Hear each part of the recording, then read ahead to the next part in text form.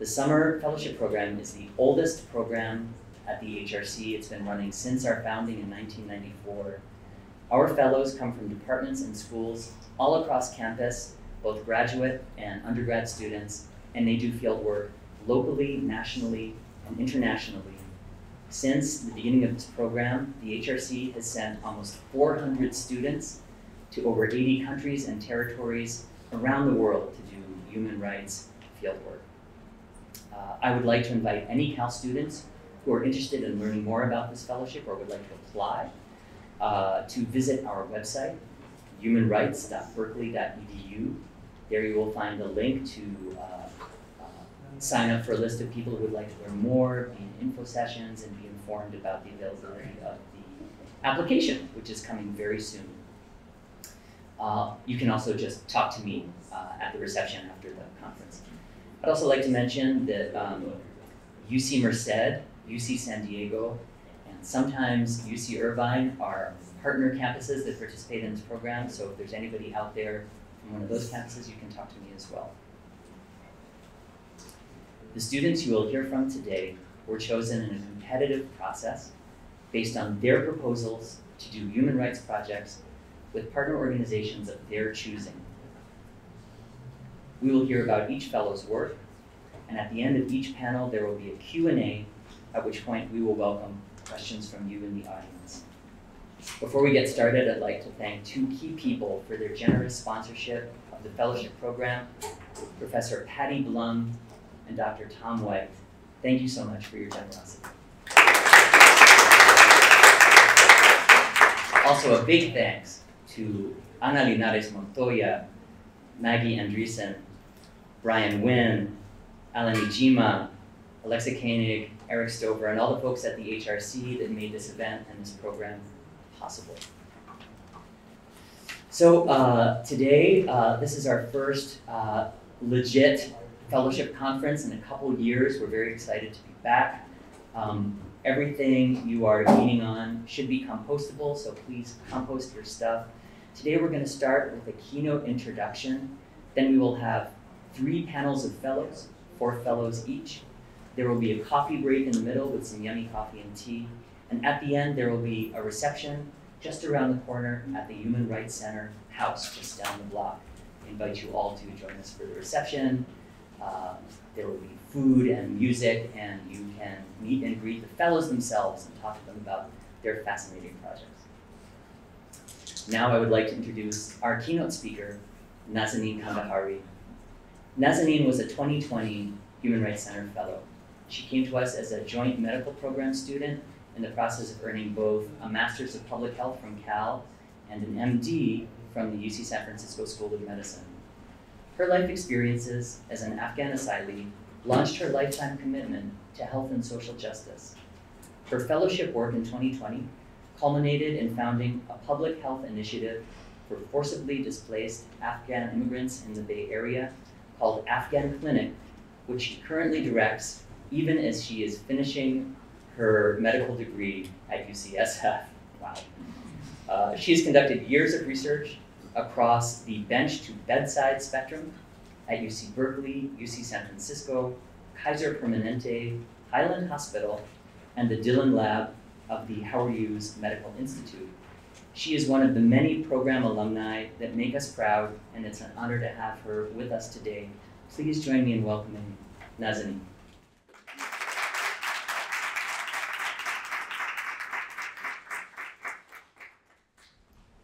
Good afternoon. Thank you, Alexi, for that kind introduction. Thank you all for giving me the honor of your presence here today. And a big congratulations to the fellows for all of the work that you have done and for all that you are.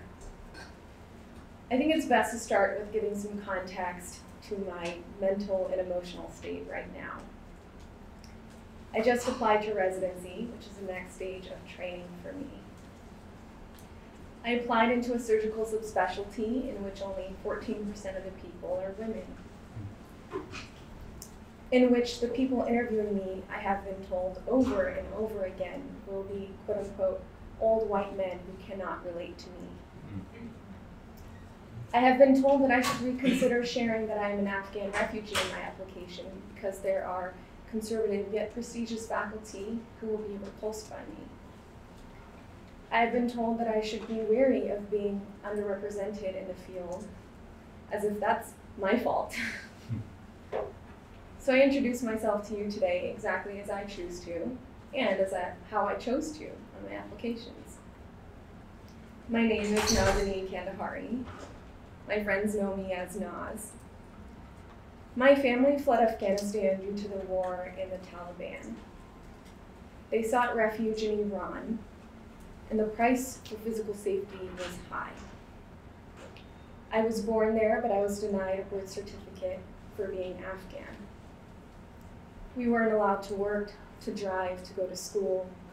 Our existence was illegal, so we learned to make ourselves small.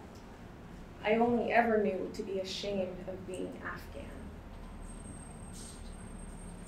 When we were forced to come to the United States, we continued to live in the terror and shakiness of being undocumented.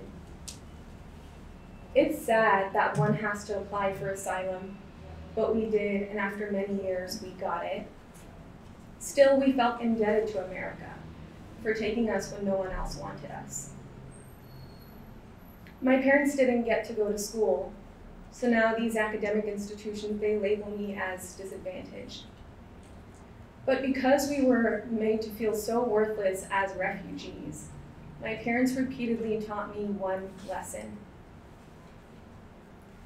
That no matter what degrees, awards, titles, privileges I gain in life, if I cannot make every human feel valued and respected, then I have failed at being human first.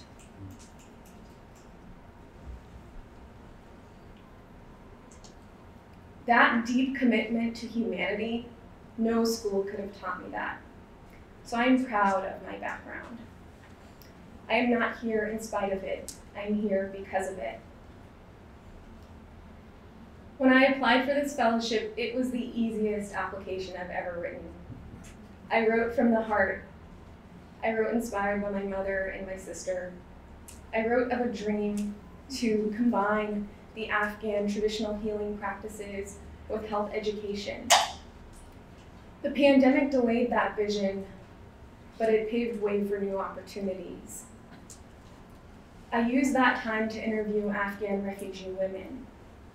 I asked them, what do you need to live your best life? And I encouraged them to dream big. And more and more, I became a bridge between my privileged American world and my marginalized Afghan world. Yes, I used my research skills, but it was my personal story that gave me the crucial credibility to hear and receive theirs.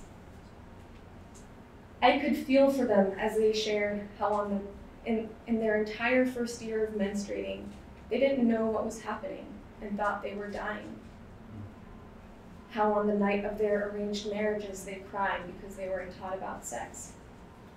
How their husband justified getting another wife because they claimed that she was cursed with bearing only girls. We ended those interviews filled with tears and laughter. And they told me how they felt a weight was lifted off their shoulders how it was the first time since coming to this foreign country that they felt heard. They would call me little sister and offer to send food to help me in school. And it was the first time that I, Nazanin, who defied every expectation of an Afghan woman, was told that I'm a source of honor to our community. In this past year, I've been asked to present our findings to the very faculty who teach me at UCSF, at Baylor, at many medical schools.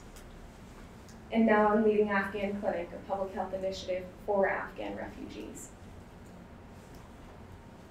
Besides sharing our findings in the academic institution and trying to increase representation of Afghans in the research literature, we lead health education. We just had an Afghan OBGYN lead an intimate series of interactive discussions about sexual and reproductive health and address those concerns and traumas. We have Afghan healthcare students leading sessions on common ailments such as diabetes and low back pain. And we have non-Afghan students who are committed to serving refugees, helping us to make materials that teaches someone how to navigate a complicated healthcare system for the first time. By investing in my idea, by legitimizing my change making, the Human Rights Center changed my path in ways that are forever and that I could have never imagined. And I don't take that for granted. Because outside of this space, they may label us as disruptive or troublemaking. They may even try to exclude us. So, to the fellows, I encourage you to hold on to this community and to all of the communities that you've built with it. And I leave you with a few more lessons that I've learned. First, language matters. When we speak of the populations we work with in our publications and presentations, we must be mindful of our language. When we call them vulnerable or hard to reach, then we make them the issue, which frees us of any responsibility to, to do anything. But the reality is, they are marginalized, that our systems are hard to reach, our services are hard to reach. And thus, the onus to make a change is also on us. Hmm. Because disparities in life and health outcomes don't just exist, they exist because they were made to exist. They exist because of long standing, ubiquitous systems, legal, political, economic, social, that stop certain people, groups, and societies from achieving their full life potential. And if we are not dismantling those structures, then we are complicit in them. Hmm. The second lesson is to know what you want to learn, but also really know what you do not want to unlearn. I know we're all in graduate programs medicine, law, public policy, public health. And we're all working in systems that were built on white supremacy. So I'm here to remind you you don't have to buy into the culture of perfectionism, peer reviewed publications, and deadlines. Please hold on to your compassion, your tender heart, and what drives you. You must validate your own values. And along those lines, the next lesson is to take care of yourself. Because these institutions weren't built to, and to keep serving people, you need to preserve yourself first. And lastly, center the people. Adrienne Maree Brown said that change moves at the speed of trust. Hmm. It is with trust that we can learn people's issues, honor their strengths, and make our changes sustainable. As the Chinese philosopher Lao Tzu said, go to the people, live with them, learn from them, start with what they know, build with what they have. But with the best of leaders, when the work is done, the task accomplished, the people will say, We have done this ourselves.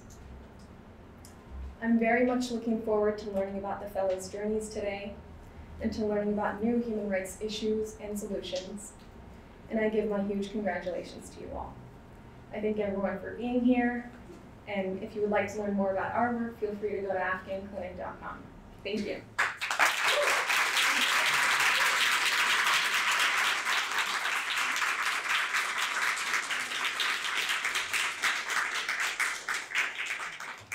Thank you, Nazanin. What a way to kick off the conference, right? At this point, I would like to bring on and introduce our first panel of fellows. Please come up and have a seat at the table, panel one. The title of this first panel is Gender and Human Rights in Times of Crisis. We will be hearing from Bhavya Joshi, a doctoral student at the School of Public Health, Anthony Ghaly, a third year law student here at Berkeley Law. Kenneth Ng'etich, who has just graduated from the Berkeley Graduate School of Journalism. And uh, zooming in or maybe appearing through a pre-recorded presentation, Wafa Alawi, who is a master's student at the School of Public Health. Please welcome our panelists.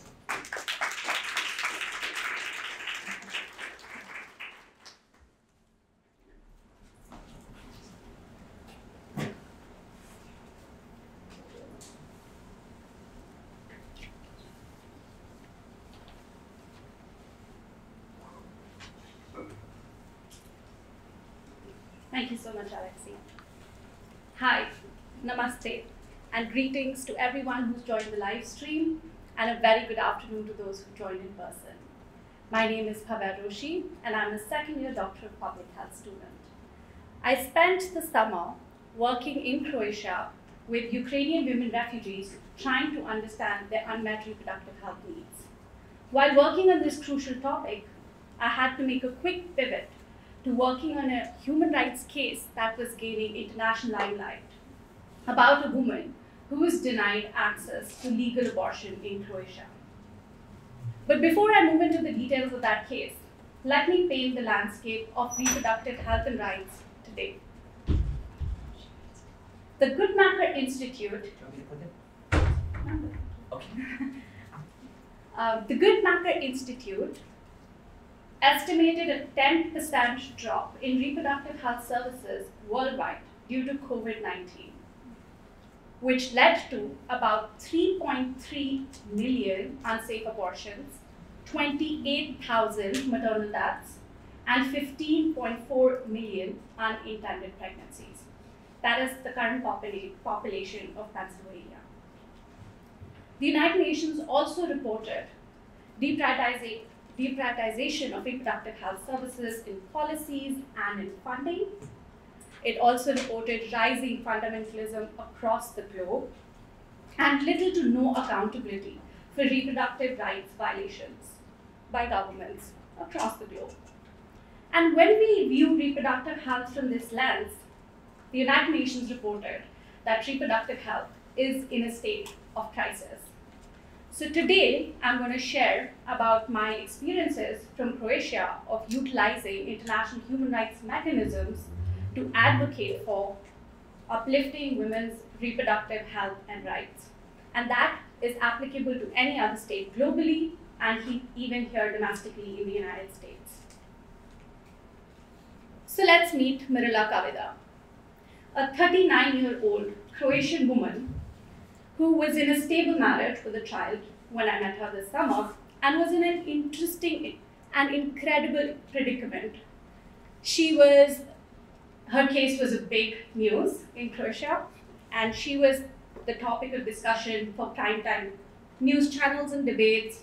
There were posts being made on social media about her and rallies being organized all over Croatia.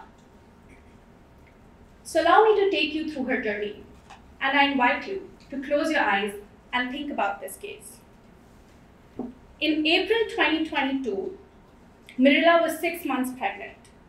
Upon her regular gynecological examination in the 24th week, a very large, advanced, and rapidly growing brain tumor was detected in the fetus, endangering its life and that of the mother. The prognosis noted that the fetus had a very low chance of survival or normal life. The tumor developed rapidly, and time was really not on Mirela's side. The law on abortion in Croatia allows termination of pregnancy after 10 weeks only if there are serious health repercussions to women or the fetus. Mirela decided to visit a few other doctors, but no one agreed to terminate her pregnancy. Some of the doctors refused to perform abortion on religious grounds. Some refused the procedure without an explanation. One could not even confirm the diagnosis, while the other claimed that they did not have the necessary infrastructure to do to carry out this procedure. So, almost weeks after the first diagnosis and undergoing more than seven examinations, she was denied legal abortion in Croatia and finally had to undergo the procedure in the neighboring country of Slovenia. The cost was about 5,000 euros. For the procedure alone, that was initially incurred by Mirela. That amounts to about five to six average Croatian monthly salaries. I invite you back to the room. I know most of us feel for Mirela and her journey. What we also need to think about is that after overturning of Roe v. Wade in this country, millions of women and girls could have similar journeys where they would be denied basic access to safe abortion services. The Guttmacher Institute reported that there are over 40 million women that are currently living in states that are hostile to abortion services. 40 million. That's more than the current population of Canada. So, what do we do? Well, there's no one straight answer to this. We need to use several strategies and explore different pathways, including the ones that have already been used, like states opening up access to abortion care for women living in states that are hostile to it. Telemedicine is being explored, consortiums are being, are being formed, and all of that is great, all of that is necessary. But we also need to use international human rights mechanisms and look for solutions outside of US. So what do I mean by that? Let me share what we did in the case of Mirela Kavita. We gathered all relevant information about Mirela's case to create a report and decided to use charter-based human rights bodies. We sent this report to four thematic special procedures. One was the special rapporteur on violence against women, one was the special rapporteur on torture, one was the special rapporteur on uh, health, and the fourth was the working group on discrimination against women and girls. 50 organizations from the consortium co-signed the submission. We were interviewed in public, we went to TV debates, and we also made a press release on World Safe Abortion Day. For those who are thinking that US is not a signatory to many human rights treaties, yes, you are right, they're not. But think about this. One, human rights are interdependent and inalienable.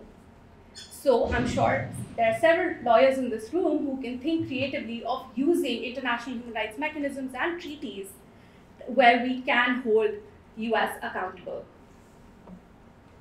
The special procedures are charter based and are open to all. So that's the second pathway we can think of. Countries do not have to ratify any document.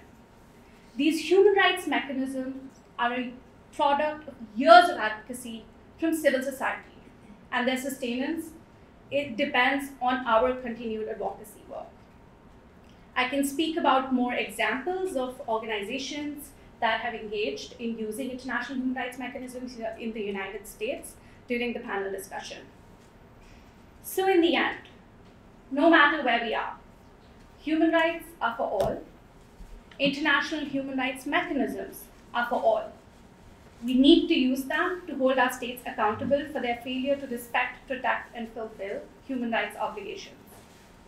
We need reproductive autonomy to be identified as a fundamental women's right, and we need to pull reproductive health out of its current state of crisis. Thank you.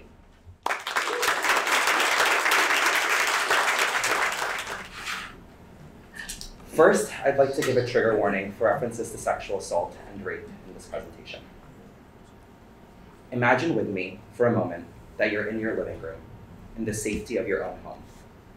You put on a headset that transports you to a completely different virtual environment. You're there to meet a friend who lives across the world from you. Only seconds after you enter, however, you're greeted by the unwanted touch of a stranger. Imagine you're wearing a haptic vest or gloves, which translate the feeling of that unwanted touch to your physical body. Imagine you're 13. Now suppose that instead of you experiencing this, it's your child, your little sibling, your younger cousin, all from the safety of their own home. My name is Anthony Ghaly, and last summer I partnered with the organization Witness, where I provided legal support on issues related to human rights law and international criminal justice. And today I'm going to speak to you about some emerging risks in online sexual and gender based violence. Witness was founded in 1992 and was originally focused on the use of video footage to capture human rights violations. The founders were inspired by the now infamous video that captured the beating of Rodney King by police officers, which was recorded by a bystander and then disseminated widely. Since then, Witness has expanded in scope and works on a wide array of tech and human rights issues. Over the summer, I joined Witness's Technology Threats and Opportunities team, where I researched exactly as it sounds threats and opportunities created by new technologies. For part of my summer, I was asked to identify pressing and emerging risks for online sexual gender based violence, or SGBV for short. Today, I'm going to talk about some emerging threats I identified within two categories. First, SGBV in the metaverse, and second, SGBV in relation to deepfakes. But before we dive in, what is SGBV? Well, it's really a combination of two terms. The UN Office of High Commissioner for Human Rights defines gender based violence as any harmful act directed against individuals or groups of individuals on the basis of their gender, and it defines sexual violence as a form of gender based violence that encompasses any sexual act, attempt to obtain a sexual act, or unwanted sexual comments or advances. Okay, so now what is the metaverse? To understand the metaverse, let's go through some key terms starting with virtual reality. Virtual, rea- rea- virtual reality is a digital environment that you can access through a headset, and sometimes is even paired with hap- haptic vests, which allow you to feel the virtual world you're in through vibrations on your chest or your hands. Augmented reality is when your actual surrounded surroundings are changed on a screen that you're looking at. Think something like Pokemon Go or Snapchat filters, basically anything that appears to add to your reality. And the metaverse is really just a colloquial term that refers to the many social platforms currently available for experiencing virtual and augmented reality together. Think of the metaverse as an ecosystem that's like the internet, but connecting different virtual environments instead of different websites. And just to be clear, in case I've lost some of you, which I know I have, um, this isn't just a niche space for tech nerds or gamers. The metaverse already has over 400 million monthly users, so we should take it very seriously.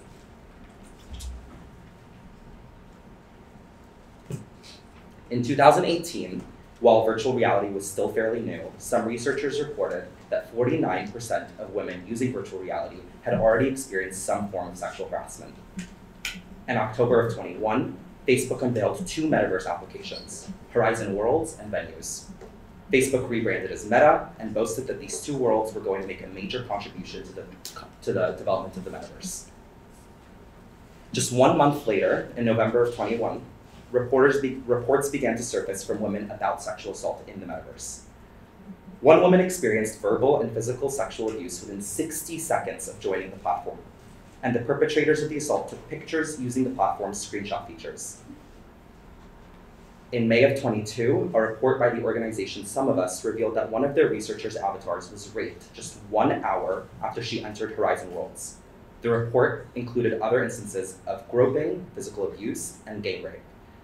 Some victims were wearing the haptic vests that I mentioned to you earlier, such that they could feel the groping on their physical body.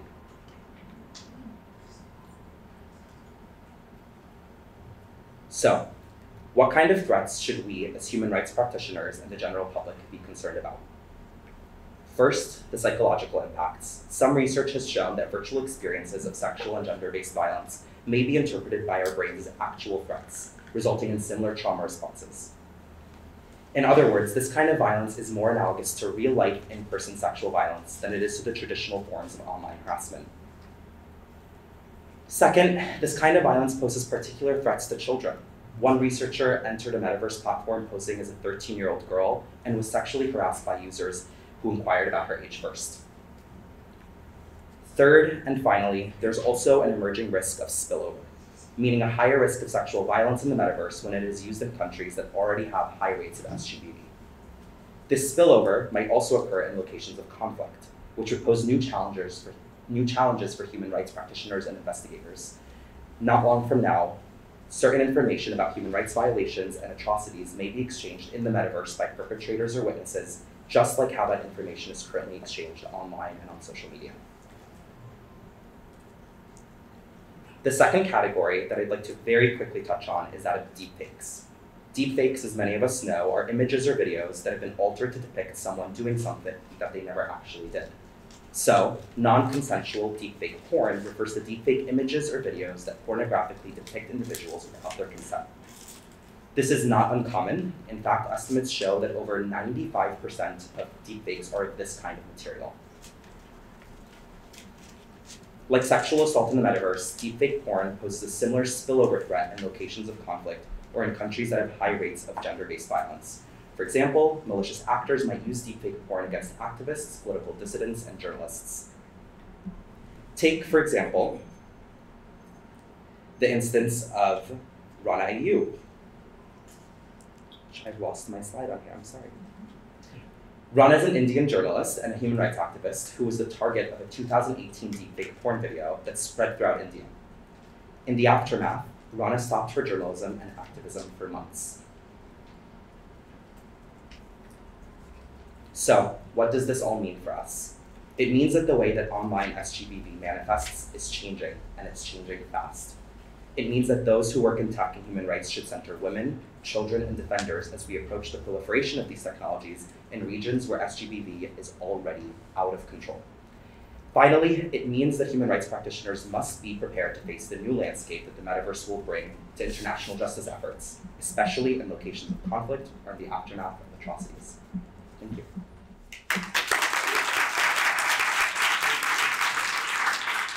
Um, I come from Kenya, where I worked as a journalist for nine years. Um, today, I want to talk to you about um, this problem of uh, modern day slavery, and I'm going to look at the plight of Kenyan workers in Saudi Arabia. This is a, I was engaged remotely in this project, um, and I was working with a human rights organization in Kenya called Muslims for Human Rights. So every year, um, tens of thousands of um, young Kenyans migrate to the Middle East for work.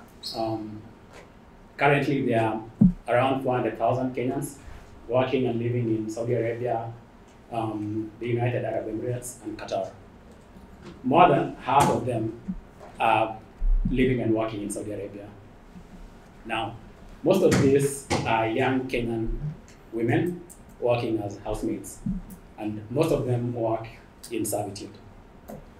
I'm gonna play this video just to try and paint how big this problem is. Diana Chepkemoi, who was stranded in Saudi Arabia, is back in the country. Chepkemoi caught the attention of Kenyans after photos of her looking emaciated uh, surfaced on social media.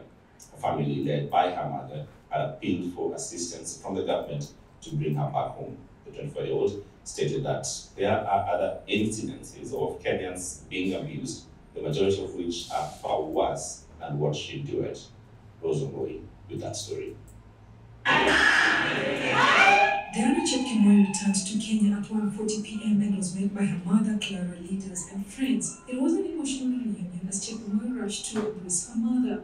The 24-year-old caught the attention of Kenyans after photos of her looking emaciated surfaced on social media. The photos sparked uproar among Kenyans who called for immediate action from relevant authorities to ensure she returns home. Upon arrival, Chepkemoi was waiting to tell her story, tears rolling down her face. I left Kenya to go to Saudi Arabia just with the hope I'll get to live a better life afterwards. But mine is just to say, I can just be honest, mine was just a tip of the iceberg. Watu wanateseka huko. People are suffering there. My friends are suffering there. It's just that mine, nili- nilipata that voice, nilipata support wenye niliongea. People are suffering there and I'm just pleading with the government, just please do something. People there are mentally tortured, psychologically tortured, and it's not fair.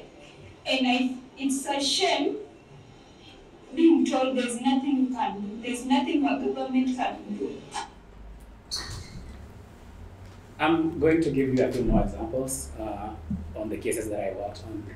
So that young girl, Celine Kanzi, she died in March after sending her family videos crying for help.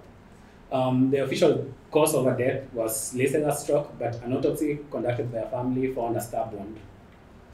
Then we have Rachel Akini. Um, she also died after working in Saudi Arabia for six months. And what's interesting about this case is that the moment her mother learned that her daughter had died, she also collapsed and died. Um, then we have Martha, who has been in a coma in Saudi Arabia since 2015. Uh, for her case, she was admitted for a long time without no one, uh, in, no one in her family knowing, and uh, it took other Kenyans living in Saudi Arabia to come to her help, and they shared pictures of her, pictures of her uh, passport on Facebook, and that's when they were able to reach her family. but unfortunately, unfortunately, she's still stuck in that hospital in Saudi Arabia. And then the case that I showed you in the video, this case got the attention of the country in late August and September, uh, the case of Diana.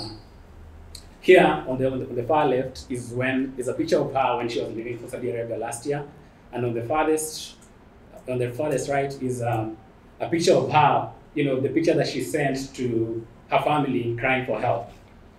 So Diana, Diana was a special case because she is a bright young girl. She was in university, but she was unable to pay for her education, and she had to, you know, suspend her education and go to Saudi Arabia to get money so that she can go back to school and to help her mother raise her siblings. So the abuse, uh, this is basically because of this system called the kafala system, which basically confines you to to your employer. It you you basically at the mercy of uh, your employer. Some elements of this system is that um, once your employer uh, gets you, you, your employer facilitates your travel to Saudi Arabia. They facilitate uh, your visa, uh, and when once a young Kenyan girl gets there, uh, their passport is confiscated, and they're not paid for the first six months until the employer gets back the money she spent on her. And what's even more alarming about this is that you can only leave Saudi Arabia with the permission of your employer. Um, Amnesty International released uh, a report on this uh, a few years ago, a couple of years ago. Um, they were looking at the case of Qatar, but um, it's, it's, it mirrors what's going on in the Middle East. So I'm, I'm just going to read you this quote from one of the people they interviewed. She was saying, they bought me when they, when they brought me. This is why they can do whatever they want to do with me. And in that report, you can see a lot of women say they were shouted at, they were insulted or called degrading names. Some of them were denied food. Uh, some said they had been physically abused, and others said they had been sexually abused. Um, so the organization I work with is called Muslims for Human Rights. It's based on the Kenyan coast. Um, this year, Muhuri and uh, their partners have received pleas from more than 50 young Kenyans living in Saudi Arabia. So, um, and between 2019 and 2020 and 2021, um, official statistics say 89 Kenyans died in Saudi Arabia. Most of them were domestic workers. This year, we don't have the statistics yet, but uh, one watchdog placed that number at around 30. Um, so the Guardian did a story recently, and they basically quoted a report saying Saudi Arabia is one of the most dangerous places to work in the world. Um, so what's the Kenyan government doing about this? Uh, because this has been going on for so long, in 2014, the Kenyan government banned uh, migration to Saudi Arabia, and then they reversed that ban in 2017 after they signed some bilateral ties with um, agreements with uh, Saudi Arabia. Part of that was stringent, uh, you know, uh, rules governing recruitment agencies. Um, and uh, one thing, one very important thing to note is that Kenyan workers in Saudi Arabia are paid uh, a monthly wage of $400. In comparison, uh, their Filipino counterparts are paid three or four times that. And this is why the problem is not about to go away. After, when, when, when Diana's case was highlighted in the media, there was a huge public outcry in Kenya. But what happened? This is the Kenyan uh, ambassador to Saudi Arabia.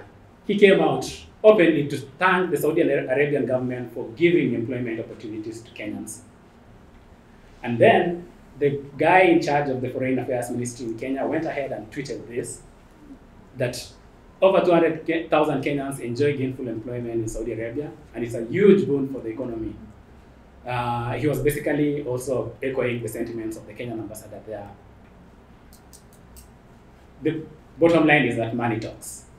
Over the last two years, we've seen like huge amounts of money being remitted back home from uh, from Saudi Arabia. In fact, it's it's uh, the United States and uh, Saudi Arabia leading in the amount of money they remit back.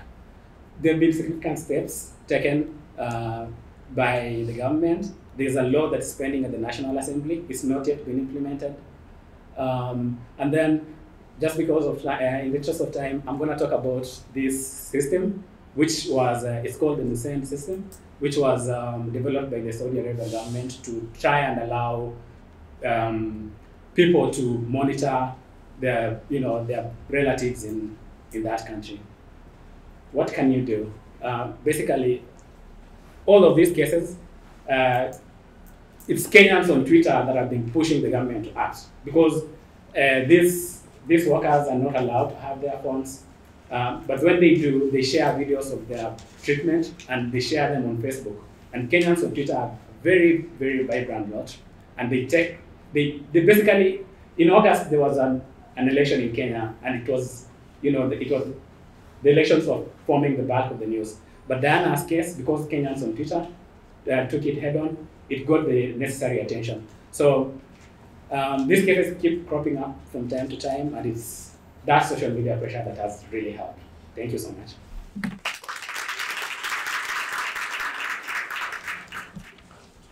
Hello everyone, my name is Wafa Alawi and I'm a second year Masters of Public Health student at UC Berkeley. This summer, I completed my practicum at Shafat Camp, a Palestinian refugee camp in East Jerusalem, where I learned about the issues facing women in the camp and surrounding areas. Today, I would like to share with you what I learned. According to the WHO, one in three women aged 15 to 64 will have experienced a form of gender-based violence in their lifetime, with intimate partner violence being the most pervasive. Humanitarian settings are especially susceptible, with gender-based violence affecting nearly 70% of women. These figures, which predate the COVID-19 pandemic, are likely to have exa- been exacerbated by the pandemic response measures. In the Palestinian context, gender-based violence is even more prevalent due to overlapping vulnerabilities, which are a direct consequence of living under military occupation. According to the Palestinian Central Bureau of Statistics, nearly 60% of Palestinian women aged 15 to 64 experienced at least one form of violence by their spouse in 2019. Staggering as they may be, these statistics have presumably climbed during the COVID-19 pandemic as studies suggest that stay-at-home orders, physical distancing measures, and closure of non-essential services significantly heighten the risk of violence to women and children. This is due to the rise in unemployment rates and the subsequent loss of income for heads of households, which can lead to substance misuse and untreated mental health disorders. This, along with the added pressures of land dispossession, destruction of homes, and restriction of movement, have all contributed to the disempowerment of women and girls in the occupied West Bank and East Jerusalem. Palestinian women are disproportionately affected by the social, political, and economic burdens of living in a patriarchal society that is controlled by an occupying power. Among them, refugee women, women with disabilities, Bedouin women, and women residing in East Jerusalem are prone to experiencing the highest rates of gender-based violence, including intimate partner violence, sexual violence, and forced marriage. Unfortunately, the most vulnerable communities also happen to have the least amount of resources available to survivors due to the ongoing pandemic, which has strained the already overburdened healthcare system and led to the temporary closure of shelters and other structures. Residents of Shafat camp live in overcrowded, substandard housing effectively segregated from the rest of Jerusalem. Within the camp, there is a significant water shortage and an overwhelmed sanitation system, leading to unsafe living conditions. The women and children face the greatest challenges and are amongst the most medically vulnerable. And with a single health clinic intended to serve the camp's entire population, access to quality medical care is nearly impossible. The Women's Center Shafat Camp, my partner organization, is an independent Palestinian NGO founded in 1997 which aims to address these issues by supporting the social, economic, and educational needs of approximately 80,000 internally displaced Palestinian women and children. This summer, I went to Shafat camp with the intention of conducting a mixed methods women's health study. I had a projected plan, but soon realized it was not feasible due to time and resource constraints in the setting, which is the reality of applied research. I pivoted my focus and efforts on community projects, such as supporting the staff at the center with three concurrent children's summer programs, creating child-friendly water and sanitation hygiene resources, and creating materials for a refugee-led language immersion and cultural exchange program, among other things. But my primary focus was on launching a gender-based violence campaign in Shafat camp. During an interview with a UNICEF officer who I had been introduced to by my partner organization, we noted a significant rise in gender-based violence cases in the camp during the COVID-19 pandemic. The case that stuck with me is Sarah, a 27-year-old Palestinian refugee woman from the West Bank who was abused by and later separated from her Jewish Israelite husband. As a consequence, she has not seen her child in six years. Unfortunately, there are hundreds of cases similar to Sarah's with little resources to address them. In an effort to confront the issues of domestic violence and gender-based violence within Shafat camp, the Women's Center and Ihtijab for Development proposed the following interventions. Launching a domestic violence campaign, which will be spearheaded by Ihtijab, an organization that has a long history of community development and women's mobilization in Shafat camp. They will lead a social media campaign that will address women's rights, domestic violence, gender-based violence, and workplace harassment with the goal of educating the masses as well as producing data for internal research purposes. Following the launch of the campaign, we will set up a crisis hotline which will provide one-on-one professional counseling to survivors of violence. We will also host confidential support groups which will be led by professional counselors with the intention of validating survivors while simultaneously providing them with resources needed to break the cycle of abuse. Additionally, because this is a very community-oriented population, we have decided to involve community leaders in this intervention. This will not only ensure that the intervention reflects the needs of the population, but will also encourage participation in the program. Currently, we are in the process of submitting the grant proposal and are hopeful that we will receive funding for this project. In the meantime, please consider supporting the following organizations who have made strides in the area of gender-based violence and domestic violence in the West Bank and East Jerusalem. Palestinian Family Planning and Protection Association, an independent nonprofit organization which provides sexual and reproductive health services to Palestinian women and girls. Women's Center for Legal and Social Counseling, a non-governmental organization that aims to address the causes and consequences of gender-based violence within the Palestinian community and Palestinian Counseling Center, a non-governmental organization that provides comprehensive mental health services to Palestinians in the West Bank and Jerusalem. Thank you.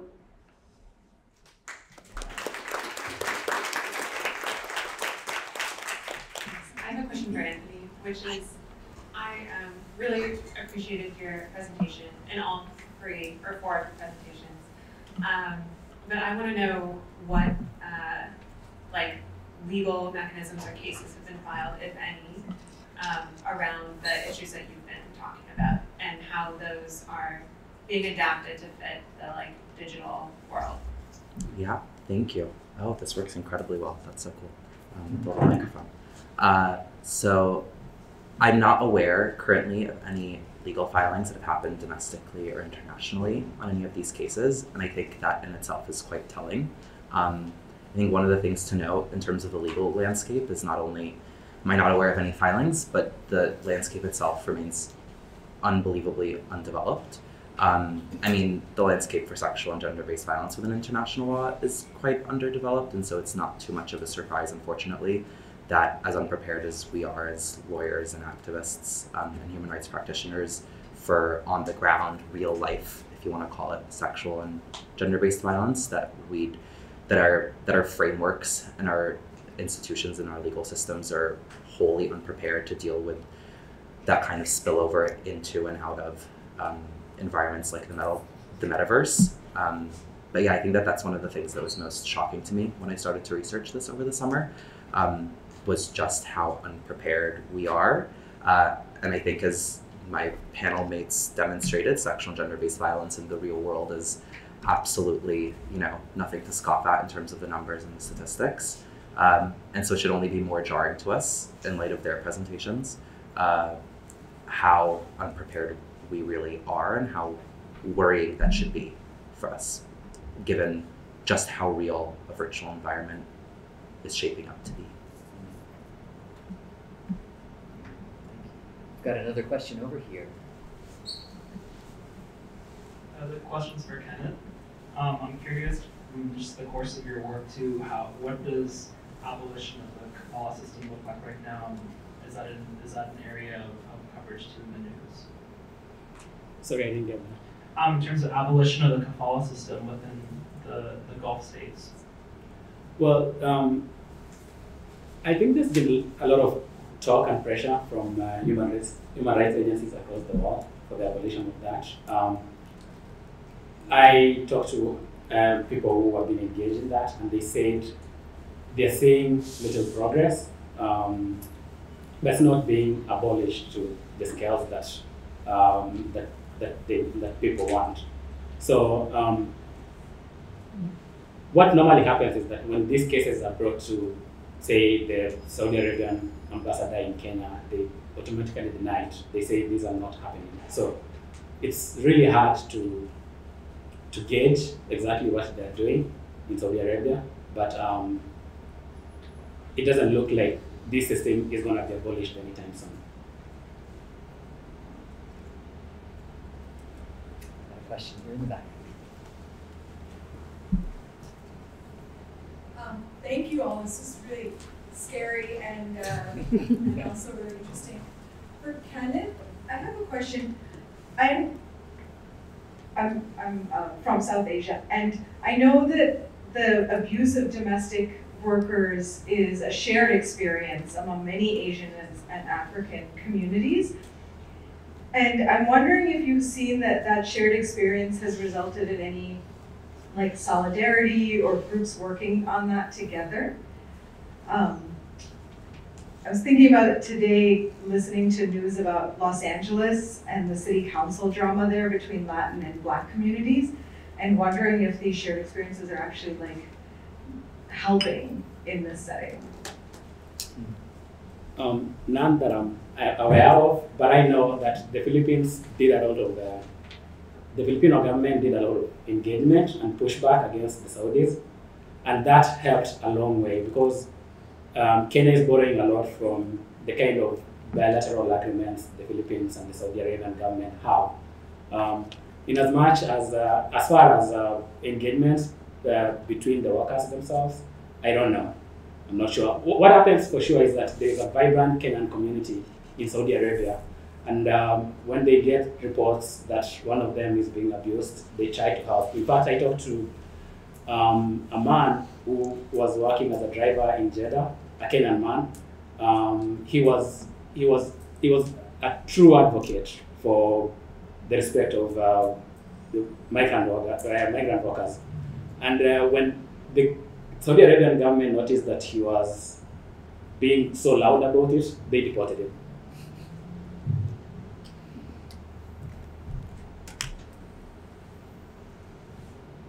Question over here. Was, there any discussion of this issue in the recent election for president in Kenya in terms of what the government should or could do or did not, has not done? Is it an issue between the candidates and the parties? Yes. Um, so um, Diana, Diana's case, uh, Diana was fortunate enough to for her case to be highlighted during uh, the election period, and um, because of that very big pushback from from Kenyans uh, online and um, in person, uh, the government promised to sort of uh, engage the Saudi Arabian government more on this. Uh, but you have, when you see people like the, the, the head of uh, the Foreign Affairs Ministry saying that we thank Saudi Arabia for the kind of, you know, the number of jobs they provide for Kenyans, it erodes the confidence Kenyans have on them because the government seems to be more interested in the amount of money being sent back home than the plight of its citizens there. But um, people are starting to take these things seriously. I know that those laws that have been shelved are being discussed right now. Um, the Senate of Kenya has uh, promised to relook that, and so it remains to be seen exactly where. The good thing is that sometimes so many cases come up. Sometimes there are no cases, but these these are ongoing problems. We can go for like another one month without with no with no cases, but then they come up and the pressure is turned right back on. Okay, do we have some questions that are not for Kenneth? I've got one. Thank you. This is just for the video recording. So this is a question for Bhavya.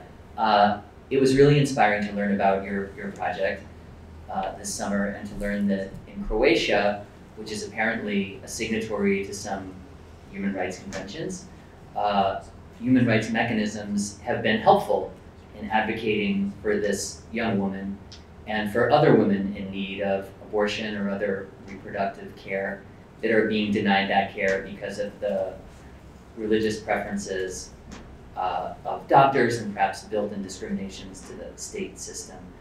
Um, given what's going on in the United States right now, the recent loss of Roe versus Wade, and also the looming threat of some conservative uh, activists attempting to ban or diminish access to contraception, something that uh, the HRC is doing some reporting on right now.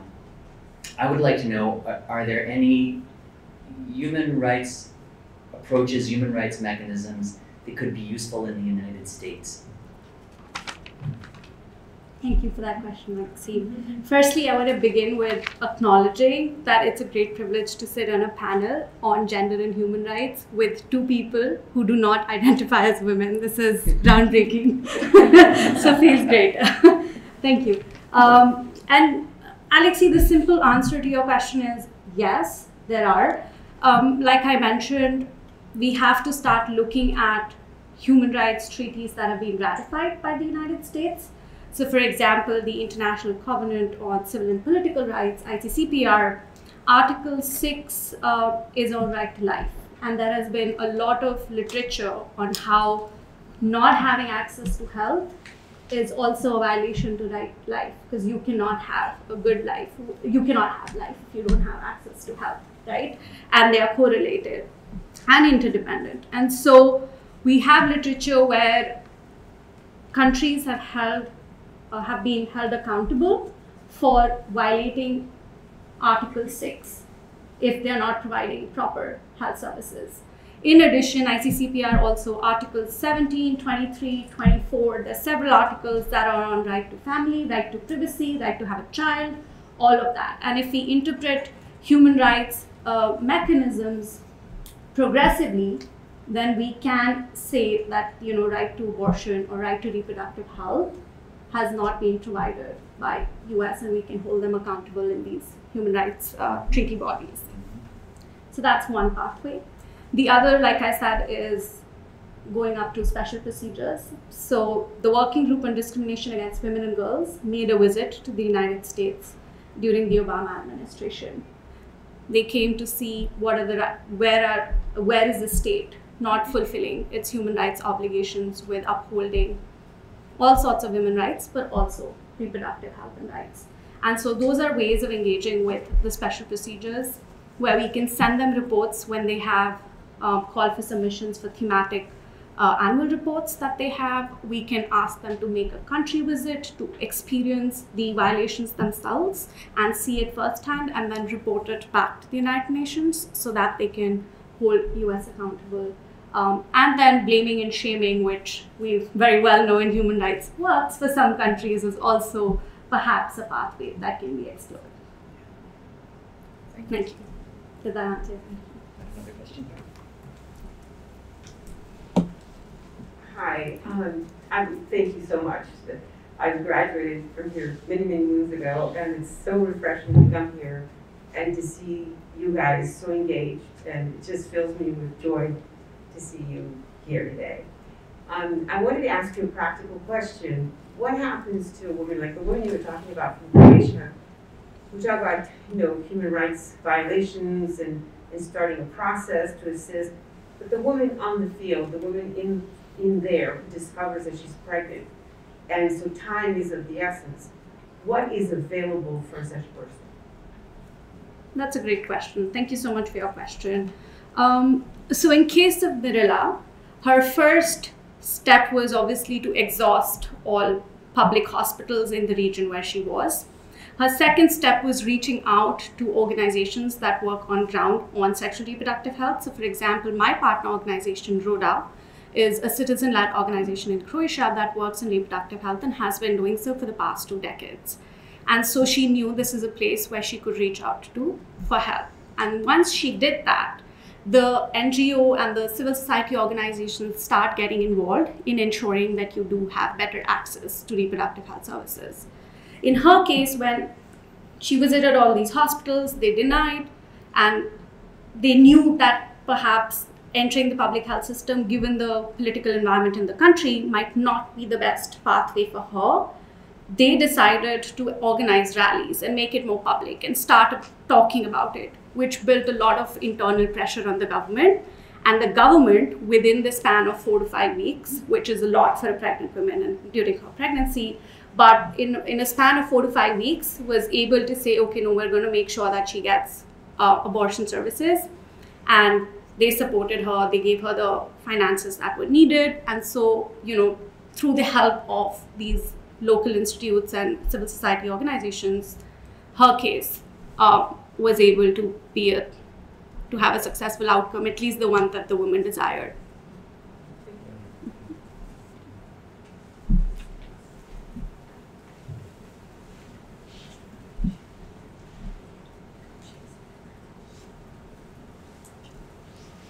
Thank you to everyone. Um, my question's from Ms. Joshi, is that how you say it? Um, yes, thank you. I know in the U.S. a lot of young women that I've spoken to has um, openly discussed an option for sterilization. And my question is, uh, women in other countries, uh, do they even have access to that option? And is it something that is even being thought about or discussed, or they're so far away from having any resources available that that's kind of not even something they think about. Thank you. Thank you for your question. And I'll refrain from making some blanket statements here, but at least in the context of India, where I come from, sterilization is a commonly provided contraception method. It is something that is supported by the government, and so the smallest village in India would have access to sterilization. Um, that is also to say that religiously speaking, there are a lot of um, India mostly is a Hindu nation with other minorities, but the religion does not necessarily object with reproductive health uh, services, maybe contraception, abortion, all of that. Hence, it is easier to implement sterilization and practices like that in countries like India.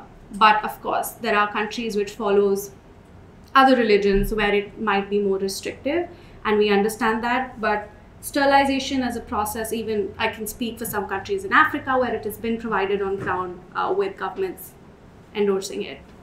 Mm-hmm. Um, thank you for your presentations. I was wondering, since Croatia is a member of the European Union, uh, mm-hmm. was it at all a possibility to bring that case to the European Courts of Human Rights? And if yes, uh, was it done? If not, why not? Thank you so much for that question. Um, yes, Croatia is part of the European Union, and so one of the paths that they can explore as a country is to go to the European Court. In this case, we did not decide to go to the European Court. One, because we needed to expedite, right? And there is waiting, as you would know. With European courts, you can't just go and have a, a resolution in, in a few weeks.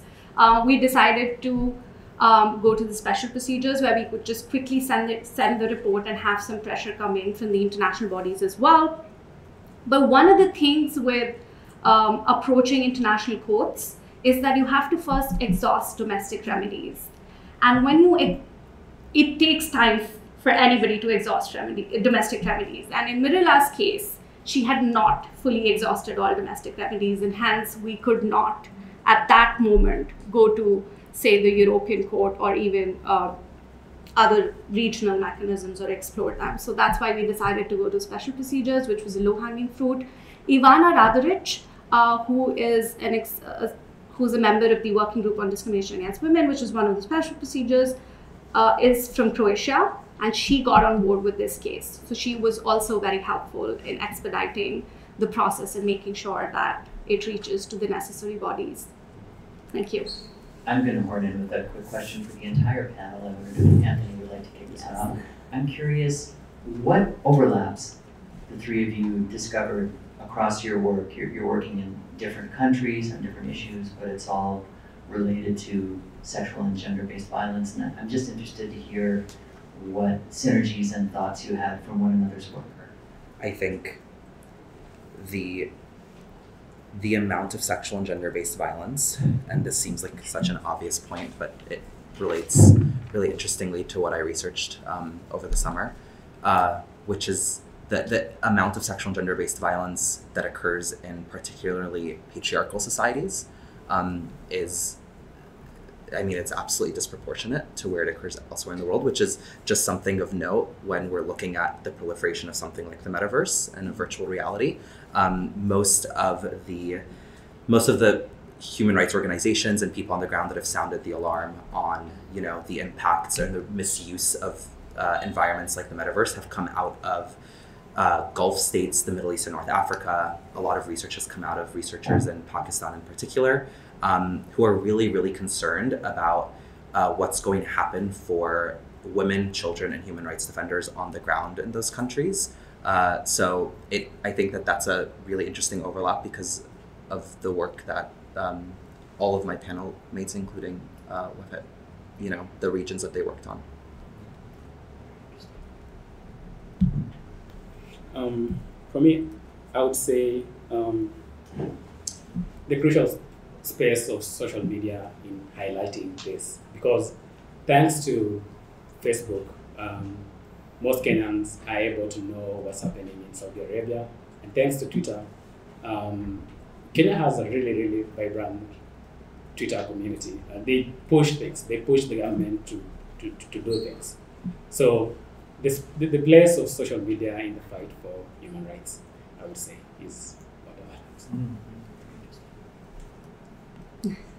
Um, yeah, I think I think our mm, both the panelists have covered most of what we discussed this summer. But I would just like to add that in in this panel, we're talking about set of human rights that we feel are neglected. We feel needs more work in. We feel that these are spaces that for example, when, when we talk about women refugees, in Wafa's case, in, I was also working with Ukrainian women refugees this summer, or women who are who do not have access to, say, abortion or gender-based violence, face gender-based violence.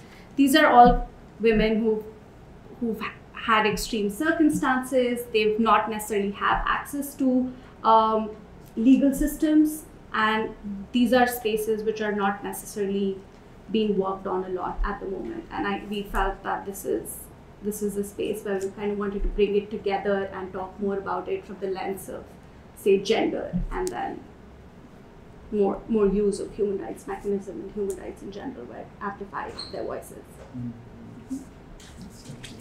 Are there any final burning questions before we move on to the next panel? Burning ones. All right. Well, in that case, please give a warm round of applause.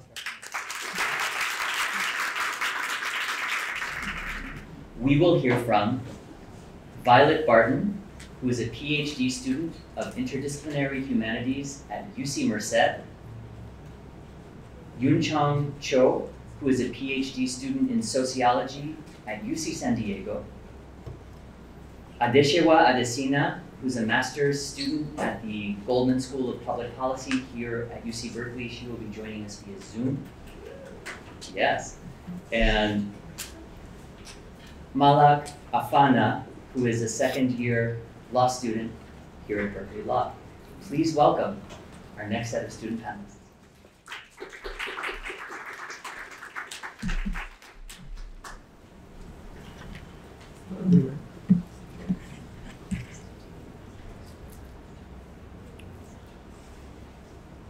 I acknowledge that I am on the unceded and occupied territories of the Chochenyo Ohlone peoples and nation.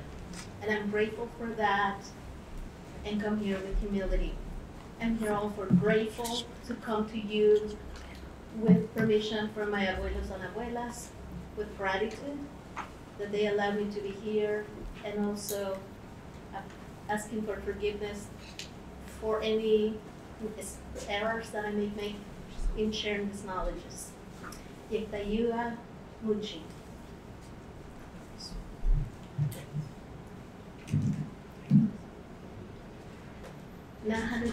Violet Yewa Pan Yusi Merced.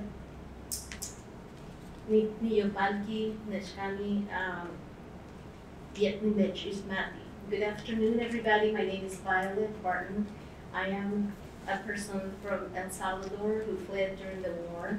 I go to UC Merced, and what I said is that I am grateful to be here. My heart is content, and that my eye recognizes you today. El Salvador has histories that are rooted in colonialism, empire, and war for over 500 years. These histories are not over. We struggle with military regimes. Um, we struggle with war, U.S. intervention. We struggle with corrupt governments, impunity. We struggle with poverty, lots of economic inequality that are made worse by economic um, neoliberal policies, right? We are struggling with homicide, the highest homicide and femicide rates in the hemisphere, which have made El Salvador one of the most dangerous countries in the world during peacetime. Yet, you know, many, most of these violences that take place every day for our families force them to be internally displaced many times before they are forced to migrate to international borders where they are not loved.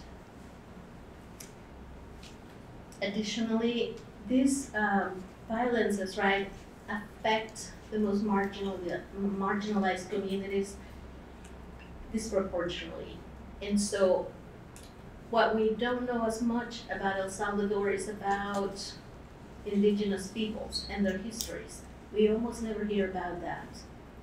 But I'm here to tell the story of my ancestors and what we are struggling with today. Um, since the 1932 Matanza in El Salvador that was sponsored by the government, in a matter of three to four weeks, over 30 to 50,000 indigenous, mostly men and women, were killed. Their bodies are still buried in the ground in mass graves that are not identified. And so for indigenous communities, specifically the Nahuatl communities in Western El Salvador, their struggles are centered on the land. Their survivance is centered on the land. And so I wanted to share with you a quote by Tata Nicolas Sanchez, who is a spiritual guide and a land defender, right? And he says that our abuelos and abuelas transformed the sacred corn over thousands of years using indigenous sciences so that we could survive. We have a right to exist here in these lands. For Tata Nicolas uh, Sanchez, the struggle is water and land center. Tata Fidel, Tata Fidel is also the person who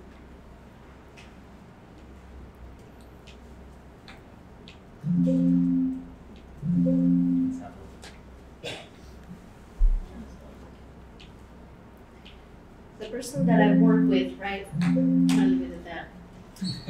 For the summer, right? And he says that corn is the blood of the land, right? That corn gives us sacred energy that comes from the sun to the land. And that's Tata Fidel, right? So, and he says that for us, it is important to um, understand our connections, right? That come from the sky to the land to the plants, and that we all are connected. When my feet touch the ground, that there's no divisions, right? I am one with the ground. Where the branches of a tree end, I begin. So this is our philosophy about land. And for us, you know, understanding land not as property, but land as life is important. And so for that, it's important for us to know that their struggles to ratify the International Labor Organization Convention 169 are critical because they're fighting for life. Uh, one of the things that we did this summer with the indigenous communities, with um, the in Asociación de Coordinadora de Comunidades Indígenas, is to try to gather together a project of digital, digital interviews from indigenous, indigenous organizers who have been fighting to ratify this convention. The convention gives indigenous people basic rights, uh, human rights, the right to live on the land, the right to cultivate, to use seeds, to speak your language, to name people and places using your language, to cultural dress and customs and traditions, right? And so one of the things we did is try to record interviews of the indigenous people who have been doing this for over 20 years, but we are not able to do that because at this moment El Salvador has a state of exception. In the last six months, over 55,000 people have been forcibly detained and disappear. Some of them are indigenous peoples. And so in this crisis where we cannot speak because we don't have rights, we don't have human rights, we don't have civil rights and protections, new life came to this crisis and we worked together with many others who decided to organize differently. And what we're doing is, you know, collecting some interviews, creating that archive, which you can visit, visit at axies.org. Um, but also, you know, under the work of other indigenous leaders like Tata, uh, Daniel Flores y Asensio, who is one of the original organizers of the U.S. uh, U.S. out of the Central American intervention in the 1980s. We are now asking poets to step up to the plate and help us create poetic actions every day against this type of violations. Um, we also have created the Special Commission for Indigenous Peoples uh, for Human Rights because one of one indigenous leader was arrested, detained, forcibly disappeared with six of his children, right? And we have no resources to fight this kind of um, atrocities. Uh, we created colectivomilpa.com so you can visit there, learn more about the struggles about indigenous communities in El Salvador. We are planning an indigenous congress, which is for, for um, 2023, which is one of a kind where indigenous people from the northern triangle, quote unquote, which we call the triangle of life, will be able to talk about decolonization and anti-colonial movements.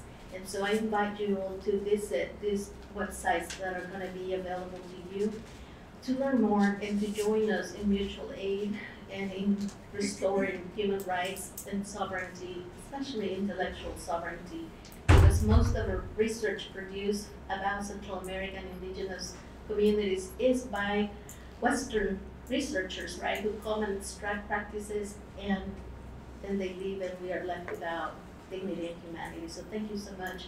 I appreciate your time and thank you for listening.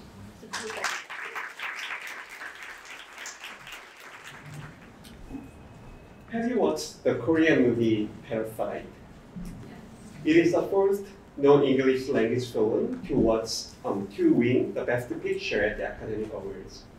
In the movie, when it rained heavily, a house of a poor family floods, and all of their things, including their blankets, clothes, and books, were submerged. My advisor at UC San Diego watched the movie and asked me the question, where these kinds of things are really happening in Korea? Or it's just a story made up for the movies? Here's my response. I took these photos this summer in South Korea.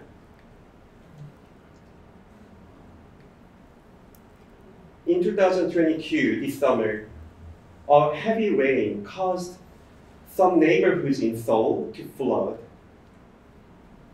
Although it rained over um, throughout the Seoul, not all houses were affected. Most of the affected houses were semi-basement house, which is called banjiha in Korean. Many young people and low-income people live there because they cannot afford to live elsewhere.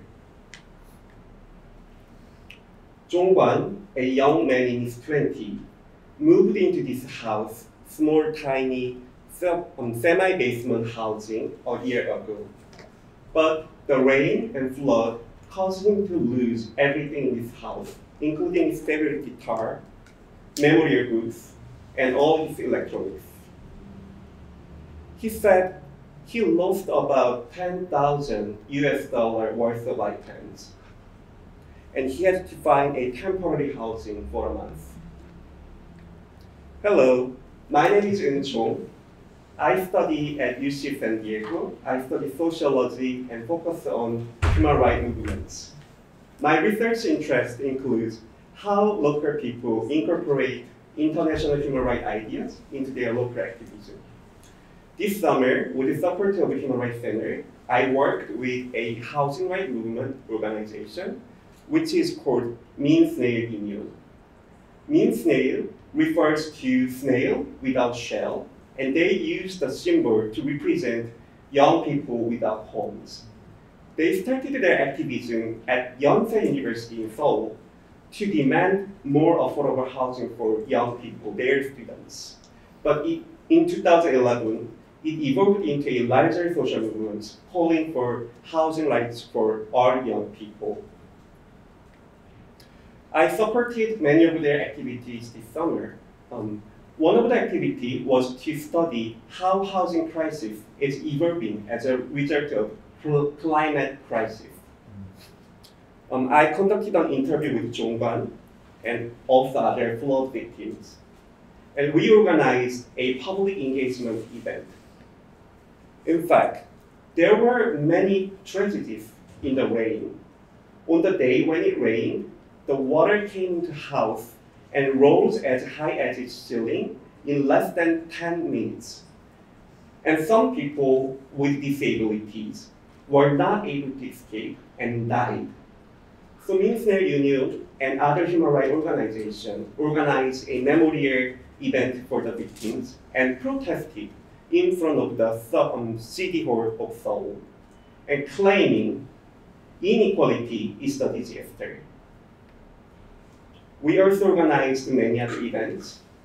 Another example, Zhong Guan the paid 50,000 US dollar as a key deposit to enter the tiny semi-basement studio. That's very common in Korea. That's because there is a strange rent system which is called jeonse. Tenants usually pay 50% to 80% of the property value instead of paying monthly rent. So young people in Zhonggan get a bank loan to pay the deposit. The problem is many predatory landlords don't return their deposit in a several legal ways. Um, in 2020 alone, it was reported that 450 billion US dollar was not returned. So Mean Union organized um, public discussion event in the National Assembly to address the issue and find the solution. So Mean Union is the board organization for young people who face a variety of housing crises. They address um, discrimination against the LGBTQ youth, um, protect for safe, safe housing for women, eliminate gender-based crimes, and also advocate for the rights of people with disabilities.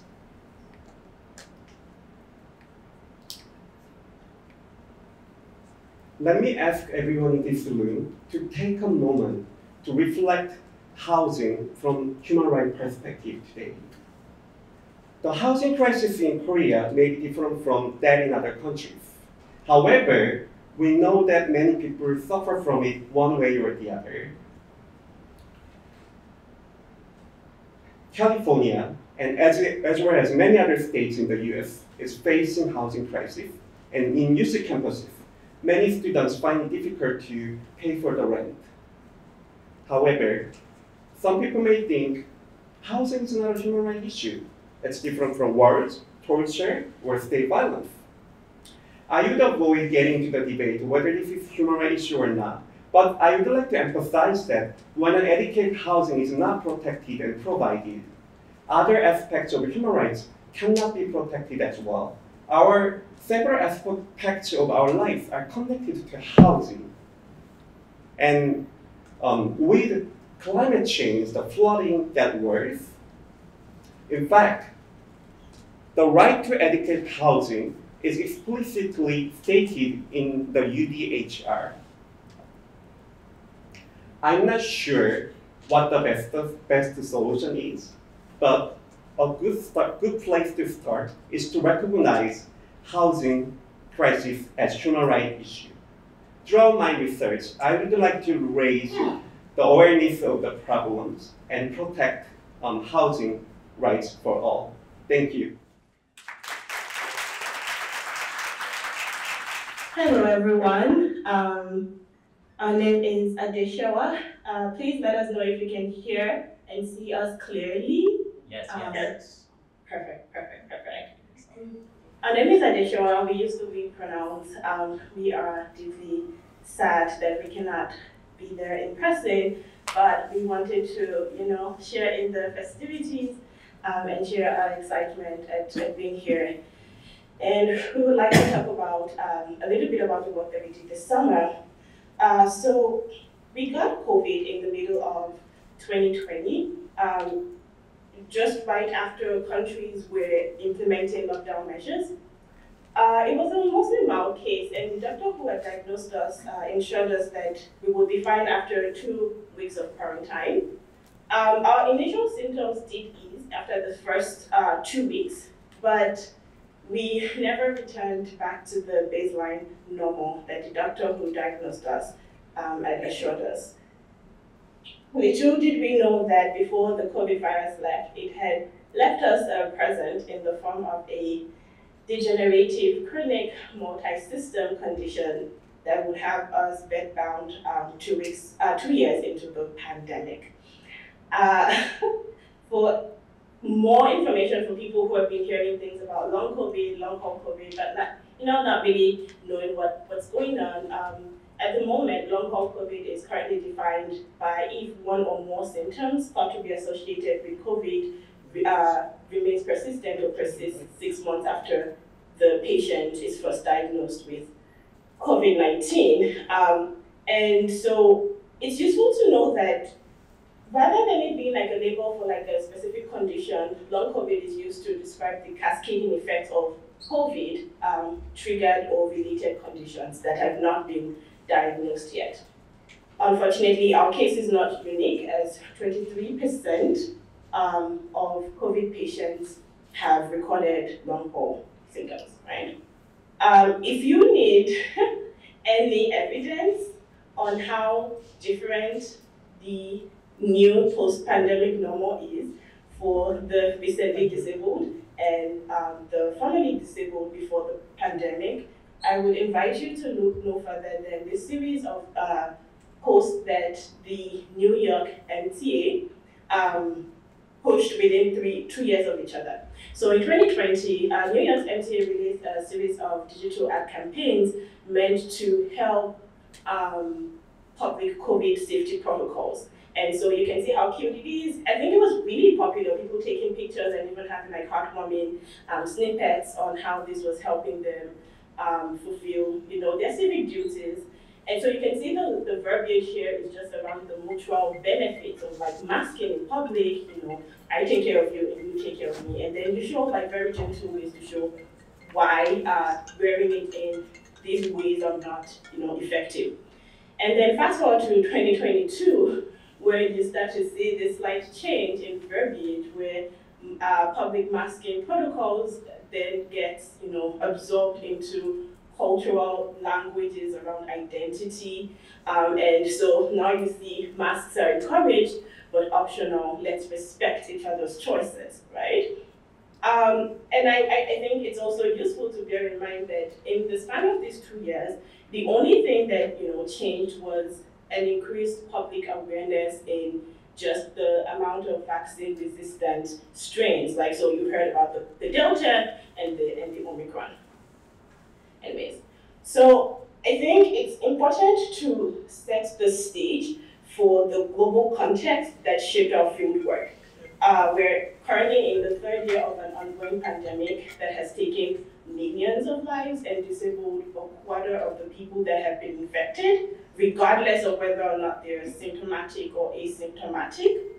The government, in collaboration with the CDC, the premier national agency for disease control, has relaxed all public health safety protocols like masking, quarantining, social distancing, um, none of that anymore. Uh, most institutions, including schools, uh, are pushing for uh, an aggressive pre-pandemic normal approach and requiring that people show up in, in person. So in the middle of this, as you know, people who became recently disabled, the question that emerged was, how do disabled people fashion a life when the systems, channels, and the people designed to protect us abandon us and leave us to fend for ourselves? This question culminated into the proposal that we eventually submitted um, that sought to gather testimonials, interviews from people living with disabilities who also held membership within the many numerous slums dotting Lagos. Um, Lagos is the commercial capital of Nigeria with over 21 million people. And there were three main reasons why we chose to do this project in Nigeria.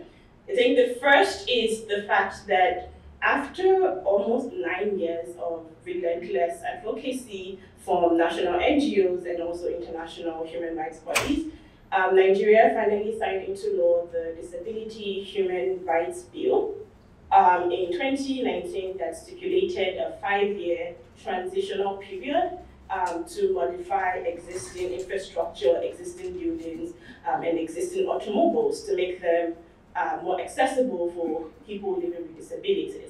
So, you know, it seemed like a good time three years into this bill um, to ascertain whether there was an awareness of this bill um, on the ground and also if they were on track for this timeline. The second reason we chose Nigeria was because we had established a partnership um, thanks to Maggie um, with the Physically Challenged Empowerment Initiative, PCEI. And PCEI is a local organization um, that is staffed and run by people living with disabilities who are also um, slum dwellers. Uh, the third reason was that we saw a gap in knowledge around disability justice. Um, Nigeria was especially contextually relevant because there were just very few publications emerging from that part of the world that centered disability access and justice. And so with the uh, data collection phase stretching out through the summer, uh, we're currently concluding the thematic analysis piece. We spoke to nine communities, and across the nine communities, several cross-cutting themes emerged. Um, I think four important ones that stand out to us that we'd like to share with the group here is uh, there's just a general low awareness of the and implementation of the bill. Very, very few um, buildings have been modified. There's been a resurgence in state surveillance and violence, particularly for people living with disabilities. Um, there's the constant threat of eviction that these um, slum community members uh, face. And then there's a diversity and an explosion of like informal social relations that we witness. So we'll do like a deeper dive into each of the themes. Okay, so for our first theme, it's useful to note that uh, Lagos State, Lagos State government has not made any meaningful strides towards modifying public buildings, infrastructures, or automobiles like the bill suggested. Um, in fact, quite the contrary, we heard uh, several testimonies from disabled people who, you know, showed that they were turned away at several healthcare facilities during the pandemic. Um, and this, you know, unsuccessful attempt at disability inclusion is in part, you know, due to several factors, you know, amongst which like there's just like general state of dysfunction, right? Because the state governments have such a terrible track record in implementing or operationalizing any bill. Um, there is the fact that the Lagos State uh, uh, Office of Disability Affairs, which is the premier uh, office that addresses concerns around disability, is very alienated from their demographic base. Um, and this is just due to very unpopular forms of uh, uh, policies that have been implemented. And I think the last part reason is the, the notable uh, NGO disability organizations are also deeply unpopular with the poorer urban disabled residents. Um, and this is due to established patterns of just class-based discrimination and anti-poor advocacy. The second theme that we have is a resurgence in state violence and surveillance. Um, we're sure that most people who are, you know, in this room today probably heard about the uh, EndSARS protests that um, blossomed in Nigeria uh, in 2020. And so a lot of people know about the type of state-sanctioned violence um, that the Lagos state meted out on its uh, citizens. What you know people don't know is that this tragic and public incident is was just really the inevitable conclusion of the types of coercive violence that the state had been implementing on you know the various sub-marginalized uh, populations. So in 2016, we believe, um, just a couple years before the Discrimination Against People with Disabilities Act was passed, uh, the state had passed a street trading and illegal prohibition effectively criminalizing uh, alternative income streams like uh, alms begging, hawking, um, crowdfunding, right? And these are frequently the only forms of economic activities that you know disabled people are able to participate in. This law was repealed in 2017, but this law still emboldens uh, the Lagos State Rescue Task Force to basically uh, do sweeps, public sweeps of disabled people that they find um, in public, and they extort them for money um, or threaten them with um, the, like they will be carted to a detention center in Majidun, which is basically a glorified prison, and most people who go there do not come out. Um, the third uh, theme that emerged was just the threat of eviction through violent sweeps. So, in a state of 21 million, uh, I think the official number is uh, three fourths of the residents currently live in slums or informal settlements it's really, really alarming that the Lagos State's uh, approach to this startling number of people living in informal settlements has been either disregard or just state sanctioned violence, right? Most of the community members that we interviewed shared that their slum communities um, were under near constant threat of eviction, and it was so constant that most of like the um, the instruments that they used to build their houses, like zinc and wood, are used precisely because it helps them create impermanent structures, um, such that they're not creating permanent structures that the state ends up coming to bulldoze um, or raise. This is just how alarming um, this very violent and brute uh, use of state force is.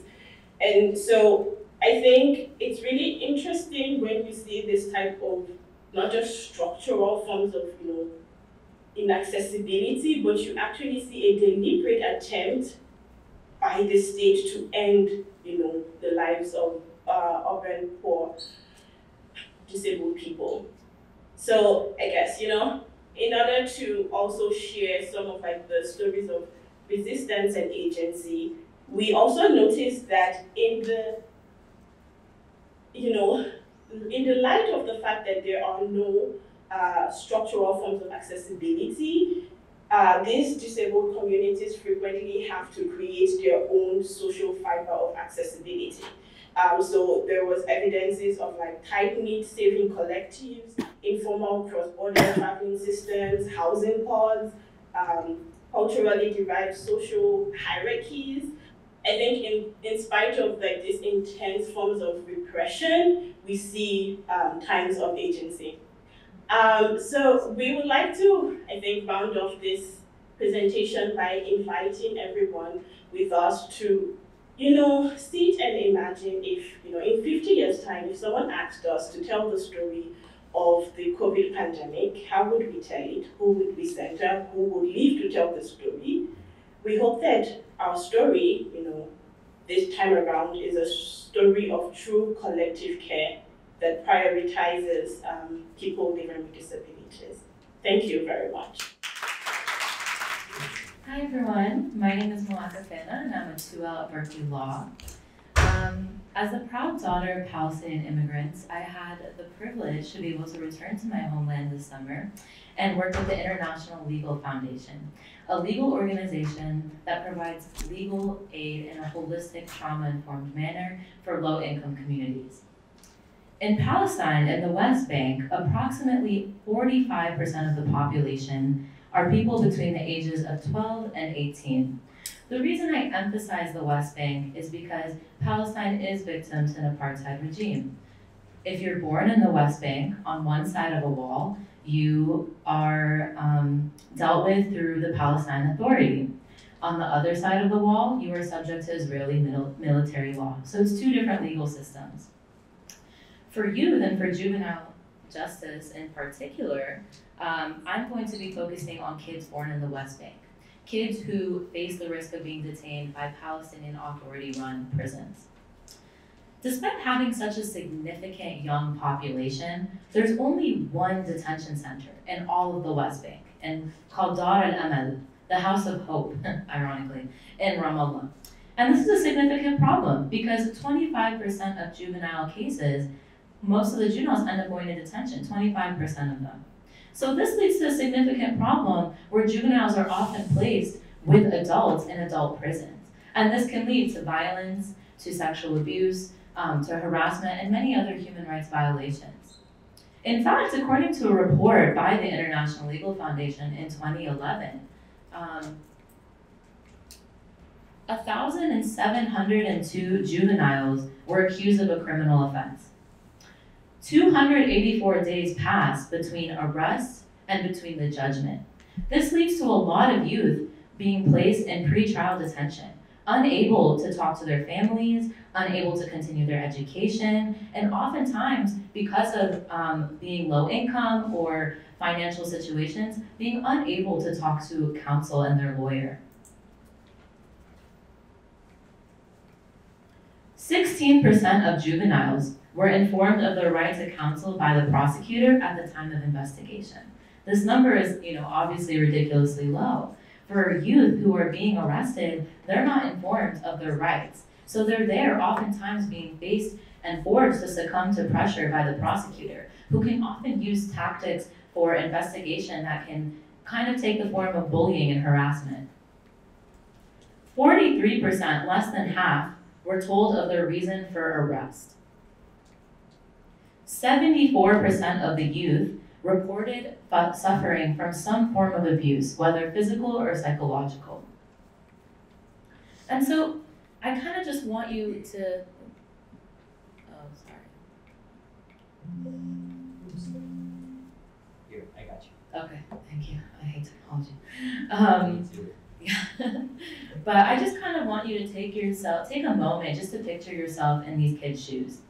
Terrified, scared, unaware of being, of why you're being held. Taken to a place where you're unable to see your family, where you don't have a lawyer present to advocate for you, facing the pressure of succumbing to law enforcement and prosecutors' questions that are often done in a menacing and in an angry manner.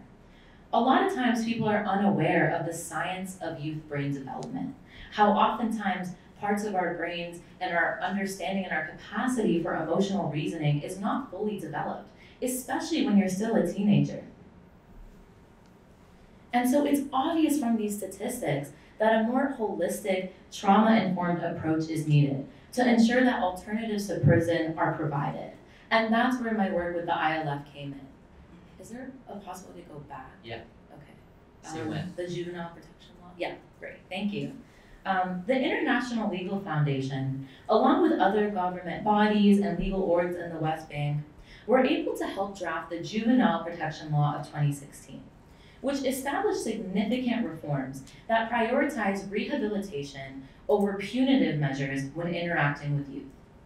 The law created a number of reforms, including creating a separate juvenile court in Palestine with specialized juvenile defense attorneys, prohibited juveniles from being charged with the death penalty or economic fines, emphasized rehabilitation and mediation through offering a means of community service and educational programs for youth, and developed the position of the Child Protection Guide, a child advocate that functions as the role of a social worker, trained to work with the child and their needs, as well as establishing investigations that and establish that investigations may not incur without the presence of the lawyer, the child's advocate, and the child protection guide, and the child's parent and guardian. These are obviously a few steps that have taken things in the right direction. However, as someone who identifies as an abolitionist, this is only the first step of a long journey. In fact, the ILF this summer, I was working with them to establish what are the recommendations to enhance the future of juvenile justice. A lot of times, as we see in the US, the law will tell us one thing and an application will look completely different. And so these are some of the recommendations I found through my investigation and through my research. Developing a clear channel for juveniles to report instances of physical and mental abuse that occur within the justice system. Children should be able to advocate for themselves. Releasing juveniles and dismissing charges against them whenever there are unnecessary delays in bringing them to trial. Developing a diversion system at the police station with representatives that provide alternatives to entry into the justice system, mm. like participating in community service, and providing youth with access to mental health resources and treatment. We've all heard the saying that it takes a village to raise a child, and juvenile defense is no different. Having and providing a youth with a criminal defense attorney is not enough. We need to be providing them with trained community organizers, parent advocates, team administrators, and mental health experts. This network can be a driving factor in saving a kid's life and allowing them to continue with their education. Take the example of Ahmed here, a client of the ILF. Ahmed was a 15 year old boy who was facing 15 years of imprisonment for murder. Ahmed one day was playing around with his friends and he carried a pocket knife for protection. He was poking around, he thought he poked his friend with the closed handle of the knife, only to find out that he had actually stabbed his friend. Facing 15 years meant he would leave the system when he was 30, missing a key part of his life. Through the ILF's help, he was able to have the charges and the time reduced to three years, not in a detention center, but in a rehabilitation center, where he was able to still stay with his family, but conduct community service oriented programs and continue his access to education. Today, not only is Ahmed free and within his community, but he is also a trainer that teaches children horseback riding and how to overcome their fears. Every child should receive the report that Ahmed received. Together, we can foster a world where our youth feel heard, respected, and empowered. Thank you. Uh, this one is for you, Malak. Um, a lot of what you talked about with the youth in Palestine sounded very familiar, very similar to some of the things that youth here in the United States go through, especially youth uh, in under-resourced communities like in Oakland, where I live. Uh, and I wondered if you had any novel or interesting takeaways or lessons learned working over there that you think are relevant to, to youth in this country. Mm-hmm. Um, uh, yeah. I'm actually I'm from Chicago as well, Mm-hmm. um, so I'm very familiar to seeing the way that um, youth are often, especially Black and Brown youth, are often at risk of entering the school to prison pipeline. My high school, I went to a high school of 4,000 kids. We had police officers stationed at every corner. I was used to seeing people slammed up against lockers, having lockers searched. Um, and so I think what I noticed is that in Palestine, the minimum age of entering the system is 12, which is still, in my opinion, ridiculous. But when you look at the US, a lot of states don't even have a minimum age in which a youth can enter the juvenile system. California, it's the age of 12. But in Chicago or in Illinois, where I'm from, there is no minimum age. You could be three years old entering the system. In fact, it has happened. A five year old recently was taken and arrested for having a tantrum in her kindergarten class. You know, so this goes to show how much more we need to go with our youth. We need to have advocates that are able to understand brain development, understand positive youth development, and see why are we criminalizing and targeting our youth who are just kids that are allowed to have healthy emotional responses. Um, how can we make sure that we are engaging with the community and stepping forward to abolish police, abolish prisons, abolish things like that, especially within our school systems. So I think being over there, I really saw how um, we really need to do a lot more, especially when it comes to raising the age in which a youth can enter the system, but making sure that with this new law, the emphasis was how do we make sure our youth never enter the systems? How do we make sure that they are only experiencing rehabilitation and the mental health support that they need? And I think that's something I'm hoping, you know, um, we'll continue to see in the US.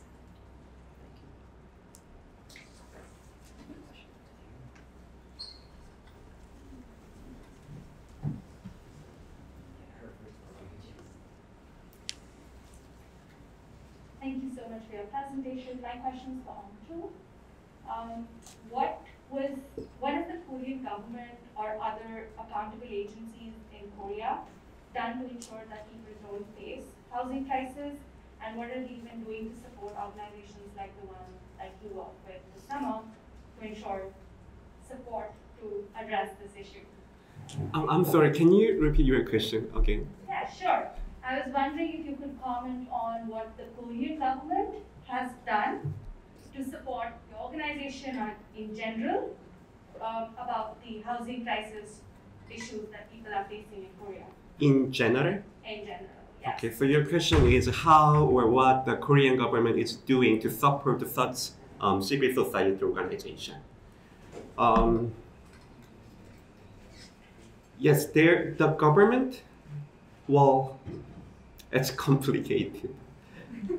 Um, the Minsnail Union, the stu- the originally student union, um, became civil society organization supported by Seoul City. Um, but at that time, the mayor was from the Liberal Party, and he was also from civil society organization. He was the leader of the civil society organization. But after he stepped down, um, Korea experience kind of rise of the, um, well, it's my opinion, far right.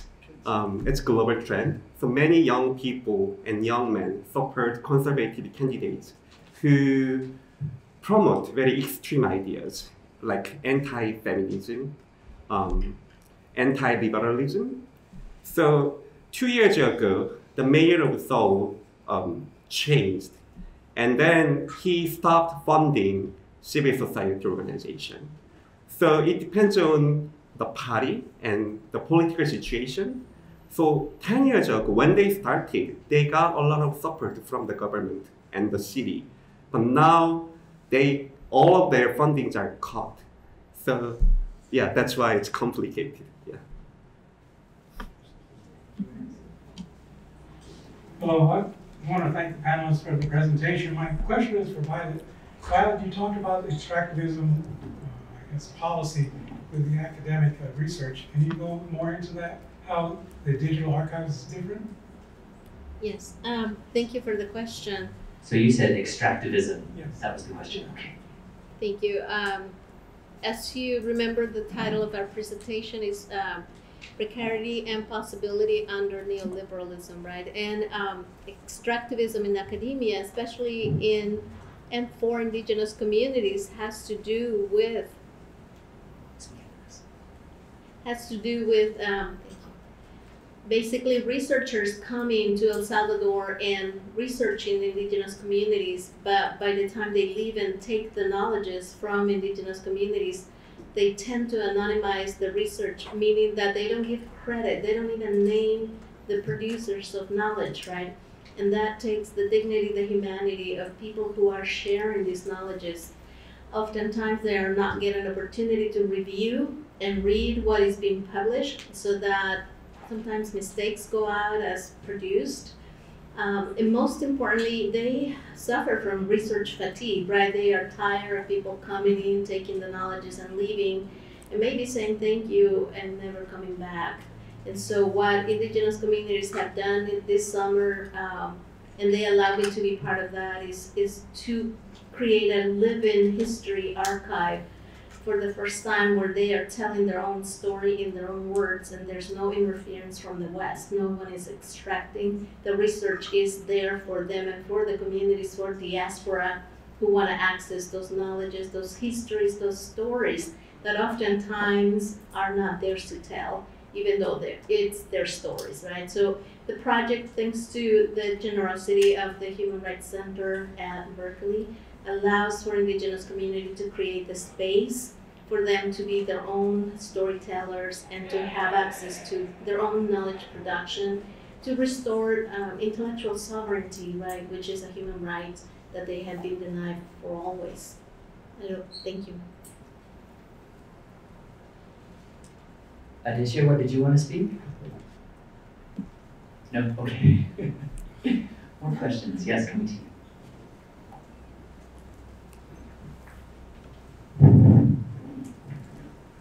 This is for Violet. Um, Osio, Alayan Zalki, the Wild Marty Porter. Um, my name is Amani Porter, and I'm Eastern Band Cherokee.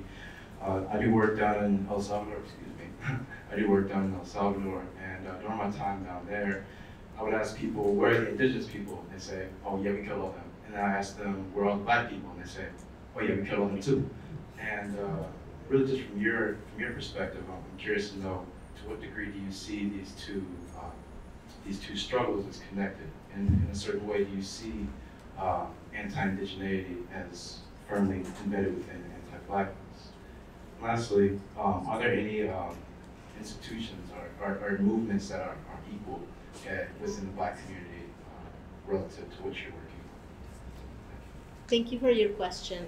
I think uh, that's a beautiful question, right? Um, we have a long history of denials of existence of indigenous peoples in El Salvador. Thank you. Um, and so it starts with colonization, with imperialism, and it continues with war that never ends.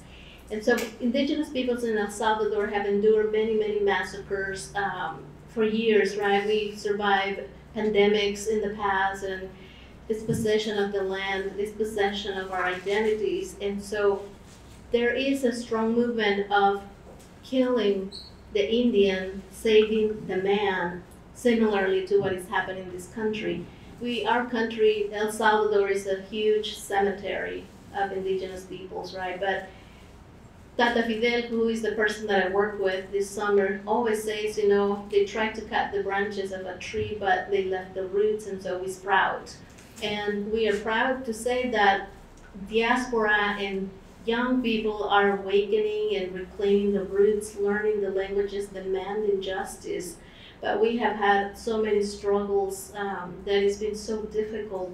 And I agree 100% with what you say that Black and Indigenous movements are tied together and connected as much as their struggles for survivance, right? The massacre, genocide, it's there in our histories.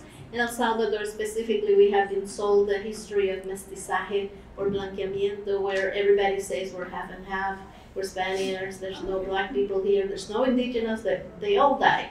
That's what you hear people say.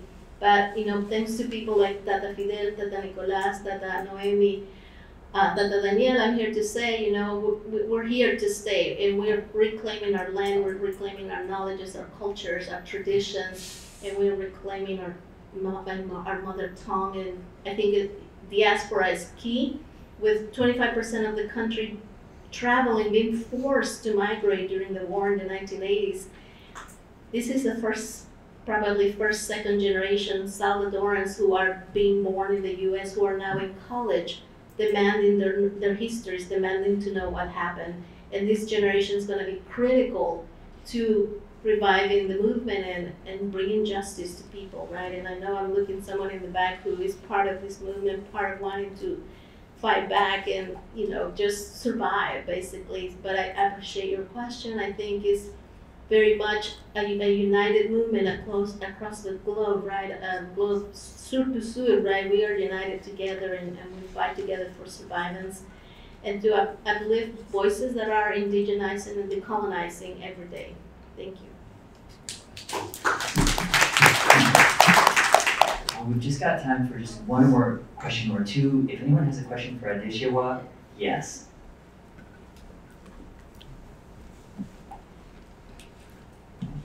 Uh, Thank you so much. I had two quick questions. One was, uh, you referenced that the, some of the housing was created with wood and zinc, and I was wondering if those, in- what, that was intentional to create structures that didn't have permanence? And then the other question was regarding the summary, um, where it said that, uh, facilitating rethinking of ableist beliefs by non-disabled people, and I wanted elaboration on that, if you could help. Thank you. Did that all come through, Adeshewa?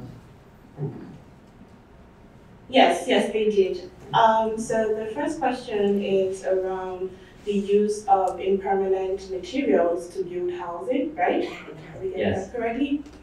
And the second one is around um, having this project be a type of launching pad to uh, establish conversations around what it actually means to be in solidarity with disabled people.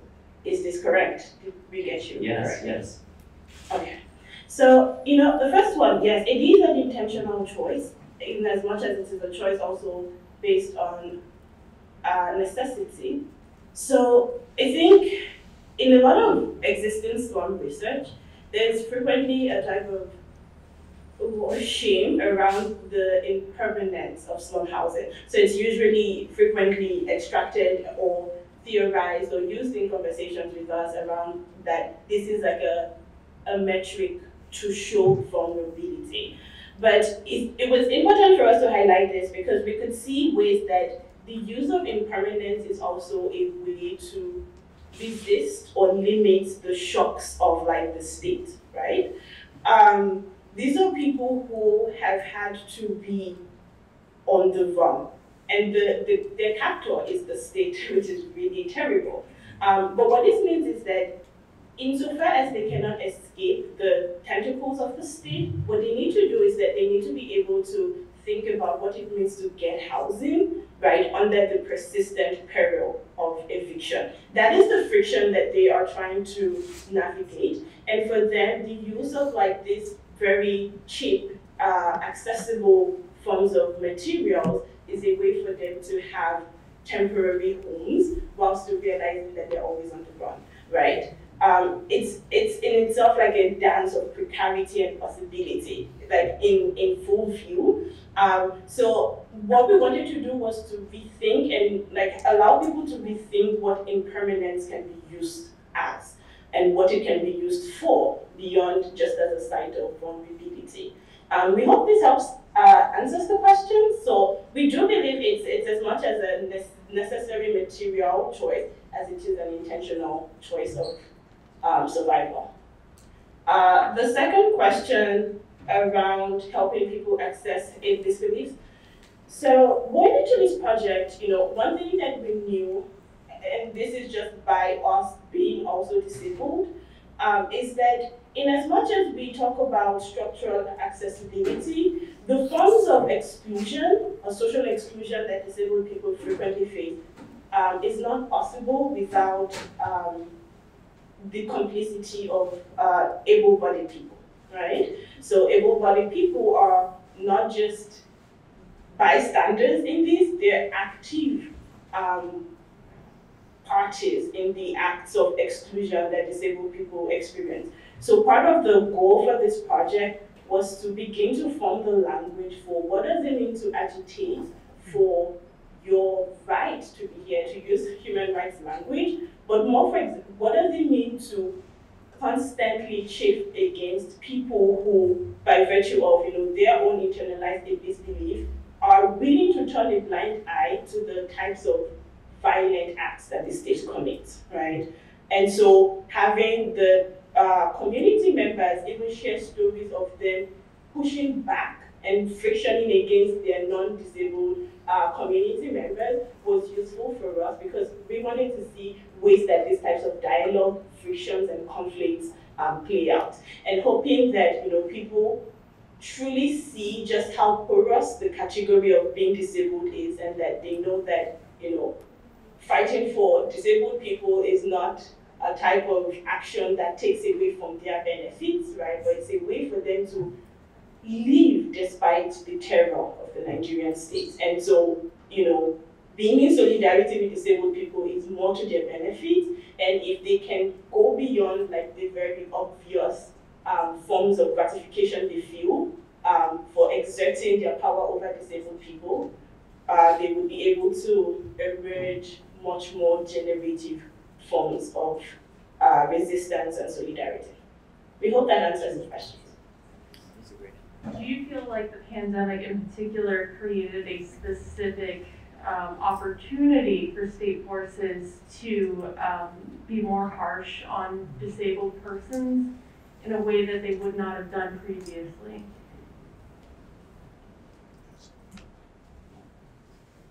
Yeah, yeah. So, uh, at the risk of sounding blasphemous, uh, we will say yes, but perhaps not in the way that people would expect. So, in general, you know, there's very little that the state does to disabled people that they are not able to do at the moment, right? Um, what we think, though, the pandemic has done is that the pandemic has led to a resurgence in very alarming form of eugenicist rhetoric, right? Um, and so we think about the types of languages around who, who becomes disposable in pandemics. What it does though is what, what the state does in the shadows is able to bring it now to the forefront and then get our, you know, the able-bodied or non-disabled society's collective consensus, right?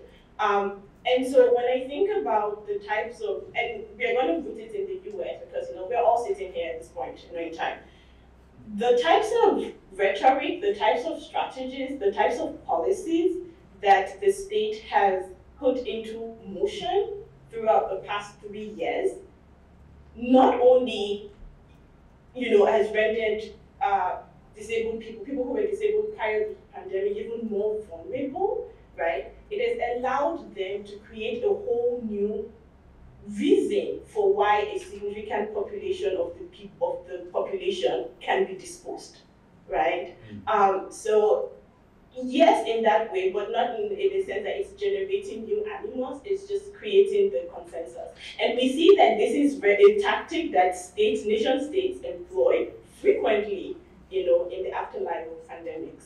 So it's interesting to see how this plays out almost cyclically, and how very few of us that are not disabled are able to see this larger picture.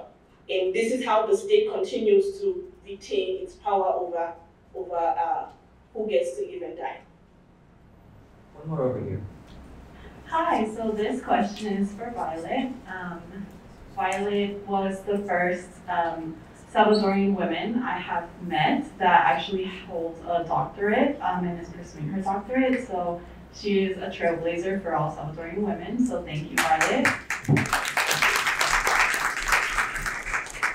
And very briefly, um, I just wanted to ask, how has your work um, impacted your identity and that of your children and your grandbaby now?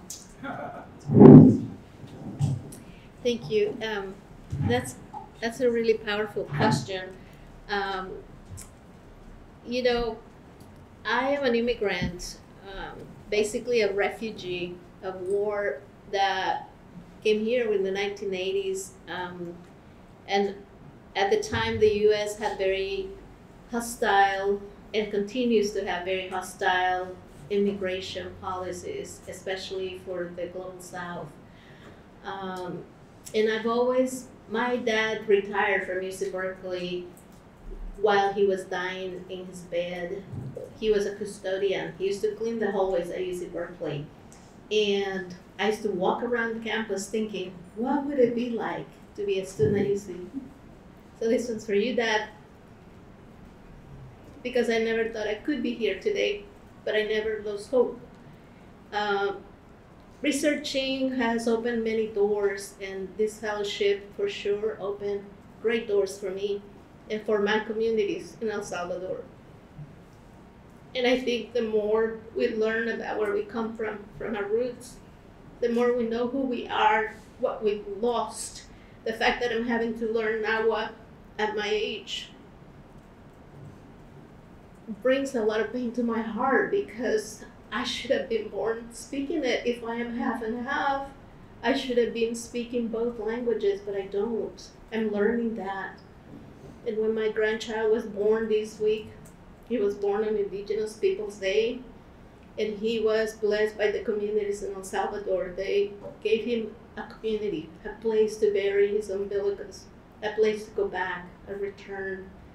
And I think that as I see him every day, I always make a point to say one or two things, and now what? You need to learn that it's your root, is where you come from.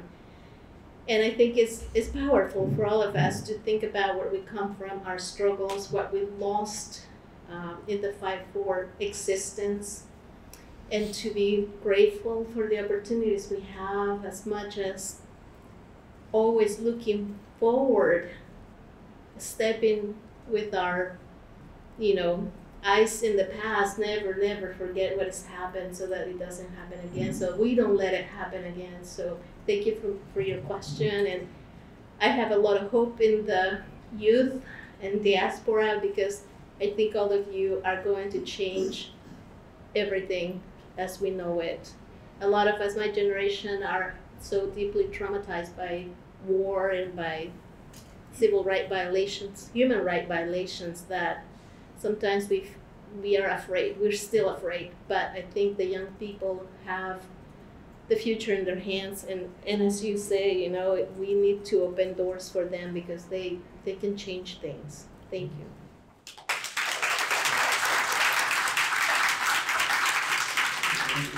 I would like to introduce the third and final panel of the afternoon. This panel is titled Structural Exclusion and Institutionalization of the U.S.'s Marginalized Communities. We will be hearing from Carolyn Lester, who is a second year law student here at Berkeley Law, Ria Desai from the Joint Medical Program, uh, so getting a master's from the School of Public Health, and also an MD from the UCSF School of Medicine. Francis Santos, who's a third year law student at Berkeley Law, and also he is this year's International Human Rights Law Clinic Fellow. And finally, Anna Judson, who joined us last year as an undergraduate and now is a first year law student here at Berkeley Law. So with that, please welcome our panelists.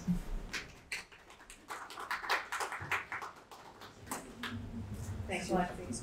I think that's great. Um, I'm Caroline. I'm really excited to be here today. Thank you so much. Um,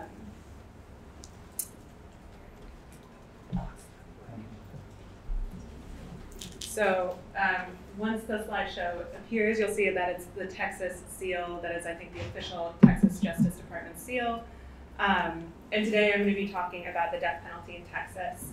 So I'm going to tell you about its history and how it works. Um, and by the end of it, I hopefully will have explained why the system we have today is fundamentally unjust.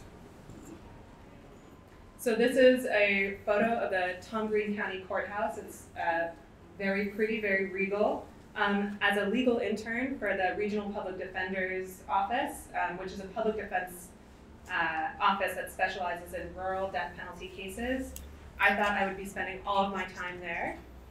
But in reality, I spent all my time at the Tom Green County Jail, which as you can see is aesthetically very different. Um, so I worked on with three clients, um, and it's sort of they span the gamut of all the different possibilities in capital cases. Um, one was white, one was Latino, and one was black.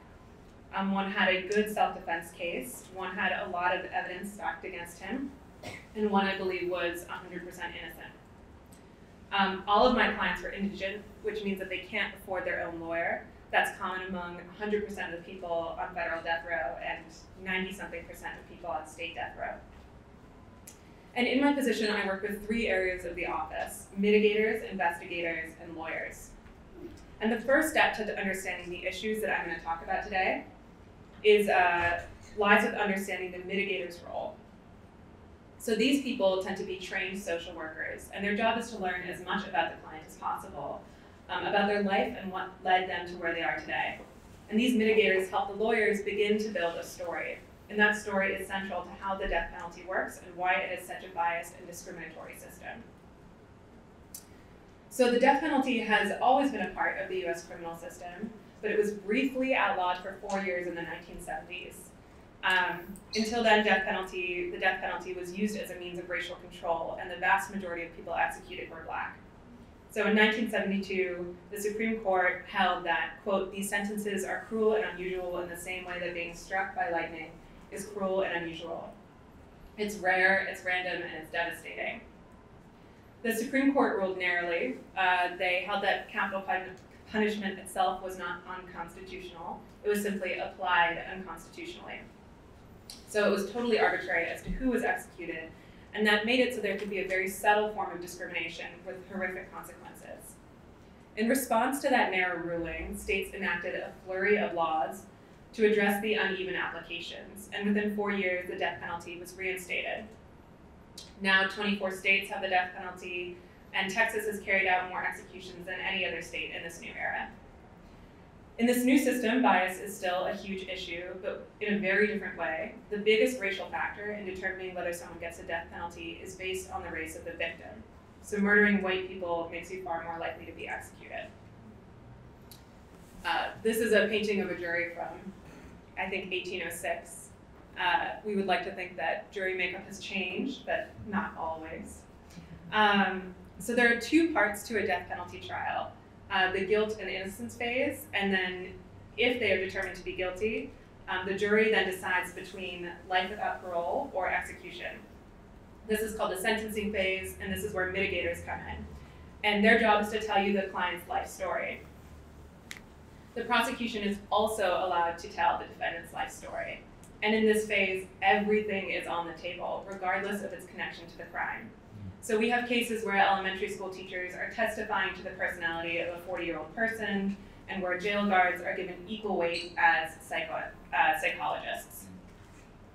And this whole process is stacked against the defense in a number of ways. You have the same jury on both parts of the case, of the trial. Um, you cannot tell them that it is um, a decision to execute somebody must be unanimous. One holdout is enough to sentence to a death sentence the defendant to life without parole. And all jurors have to be death qualified, which means that they have to um, fundamentally agree with the death penalty in order to serve on one of these uh, panels. So this new version of the death penalty is not arbitrary in the sense that there are no standards. It's arbitrary in the sense that standards are not predictable.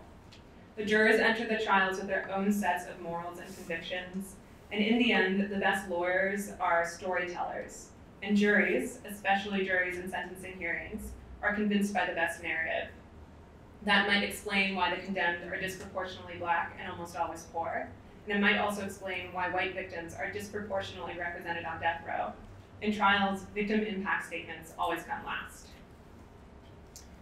So,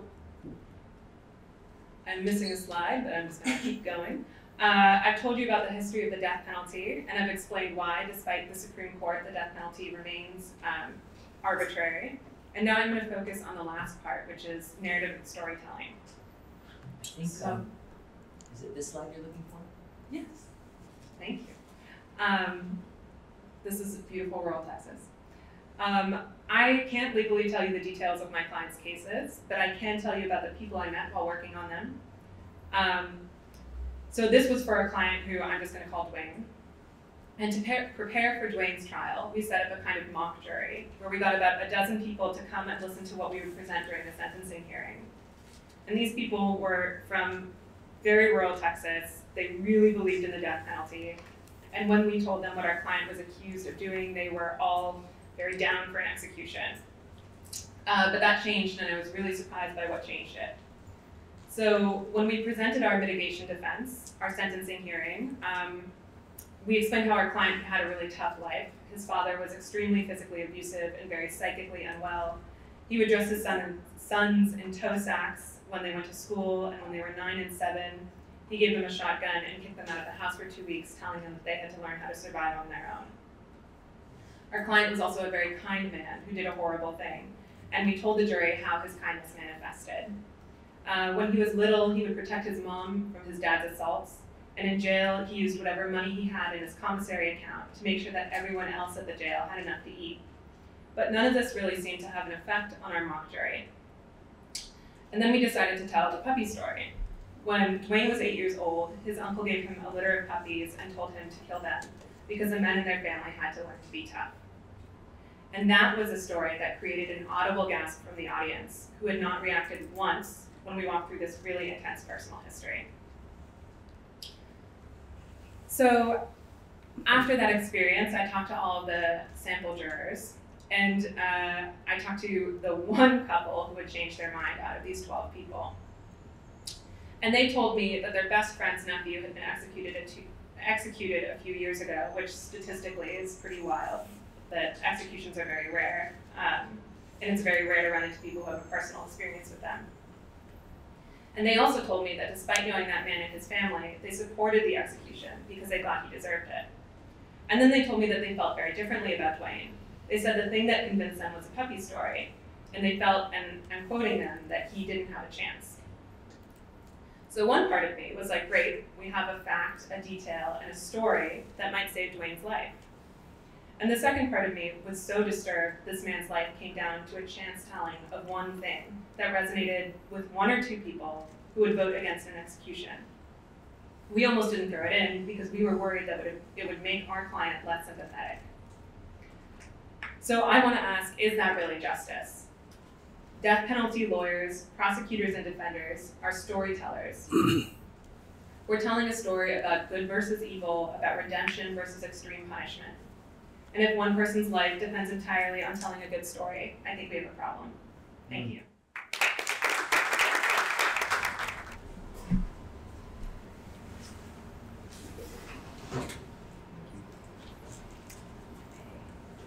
Good afternoon, everyone. My name is Ria, and for my fellowship, I work with Families for Justice Reform FAM on compassionate releases in California.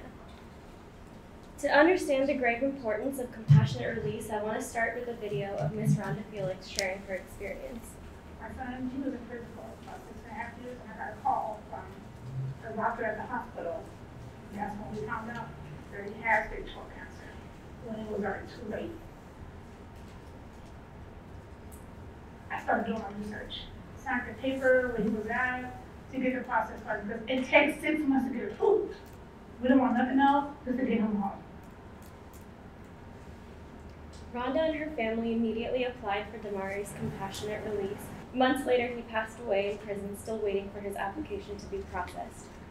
Compassionate release failed their family, and it was designed to fail. Today, I hope to share how it failed and what can be done to prevent these traumatic experiences of family separation at the end of life. Can you talk a little closer to the mic? First, uh, what is compassionate release? Compassionate release is a program that provides early release for terminally ill, very sick, or incapacitated people, and each state has their own uh, program. In California, the mechanism was first utilized in the 1990s. In a period of growing mass incarceration and widespread illness and death during the HIV/AIDS epidemic, incarcerated women with HIV in California and their advocates led a near impossible fight for decarceration. In 1997, they codified compassionate release into California law. And while this program has expanded over the years, it has been greatly underutilized. At the height of the COVID 19 pandemic, at least 17,000 individuals incarcerated in California were medically high risk. But data, data on compassionate release between January 2015 and April 2021 showed that only 329 applications were started for 304 applicants and only 53 people were released in time to pass away with loved ones on the outside. An outcome that was two times more likely than release was death. 91 people passed away before the process was completed. Why did so few get out? The process for compassionate release is long and has many steps to determine medical eligibility and risk to public safety. This diagram outlines the process, and while the specific steps are difficult to understand in the time we have, What's clear is that compassionate release is an incredibly complicated process for anyone, and especially for people at the end of their life. And getting past each step requires an extraordinary amount of advocacy, which means that release is the exception and not the rule. And let's talk about some reasons why. First, the prison healthcare system is not set up to provide good care. An advocate we spoke with said there are broader barriers around neglectful healthcare inside. People don't know what their diagnoses are until it gets closer to the end. Within the prison healthcare system, it's a total setup for people to not be able to access relief. In addition to delayed diagnoses, physicians act as gatekeepers to the process. While there are cases of exceptional doctors who will put in the extra effort to advocate for their patients' compassionate release, a CDCR doctor we spoke with said some physicians are wary of making that prognosis. There's a reluctance for the prison doctors to get involved. And even if people's application was started, 15% of applications did not move forward because people did not have a place to go if they were released. A CDCR social worker shared that at the institutions where there aren't medical social workers, unless there's family or friends, there's no way they will apply for compassionate release. For applications that were medically eligible and have a place to be released to, the application then goes to the Secretary of CDCR. The Secretary rejected 25% of all applications that reached their desk with complete discretion in decision making. And for the next step in the process, an attorney shared that there's no real standard of proof that the court must find beyond a reasonable doubt that the person is a public safety risk. It is so broad that they can rely on anything they want. While some are released through the work of exceptional advocacy, compassionate release is a structurally impossible pathway to freedom for disabled and terminally ill people. A coalition that I'm a part of, led by women impacted by the criminal legal system, worked to change that. Just two weeks ago, the governor signed our bill, AB 960, successfully expanding compassionate release in California in several ways. AB 960 expands eligibility to people with serious and advanced illness with the end of life trajectory and removes the criteria that people require 24 hours of care. With AB 960, the secretary was also removed from the process so that after medical eligibility is determined, people's applications will go straight to the, straight to the sentencing court. This is an important step forward, and still there are many barriers that remain unaddressed. This video by Forward This Production tells the story of someone currently caught up in those barriers.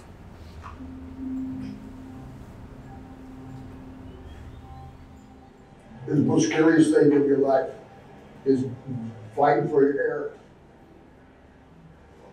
I didn't think I was gonna make it. My oxygen level was seventy-three. But then when he hit me with an EpiPen, I knew it was serious. And then uh, Gary Cooper, age seventy-three, been down for twenty years. I'm a veteran, served in Vietnam from sixty-six to sixty-eight. Uh, my face was so swollen, you know, they didn't recognize me. I've been hospitalized three times because of leukemia. My doctor wanted to give me compassionate release because of the fact that all my health issues.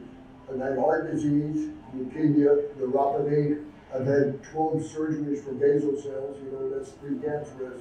You know, skin graft for one of them. So what I've been going through medically is unbelievable. You know, I don't know what's going to happen next. You're not going to believe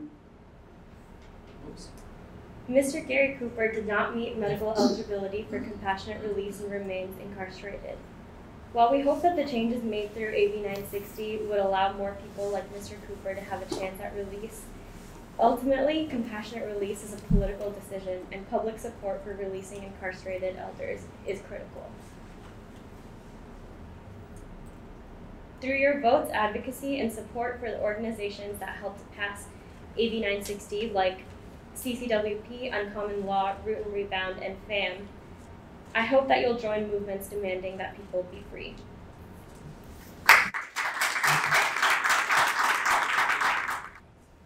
Hello everyone, my name is Francis Santos. I'm a third year law student here in Berkeley. And this past summer, I did work for the ACLU's Racial Justice Program. And today I'm going to present one of the projects that I did, which concerned challenging occupational licensing regulations as a barrier to economic freedom for the formerly incarcerated. Every summer in California, approximately 4,000 state prison inmates serve as volunteer firefighters.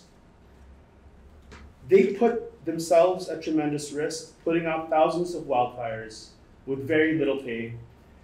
But what's even more unfortunate is that when some of them decide to leave prison and decide to pursue a career in firefighting because of the experience that they've gained serving as volunteer fighters, they face enormous barriers because several regulations prevent them, on account of their criminal history, from receiving the certifications necessary to become licensed as full-time firefighters.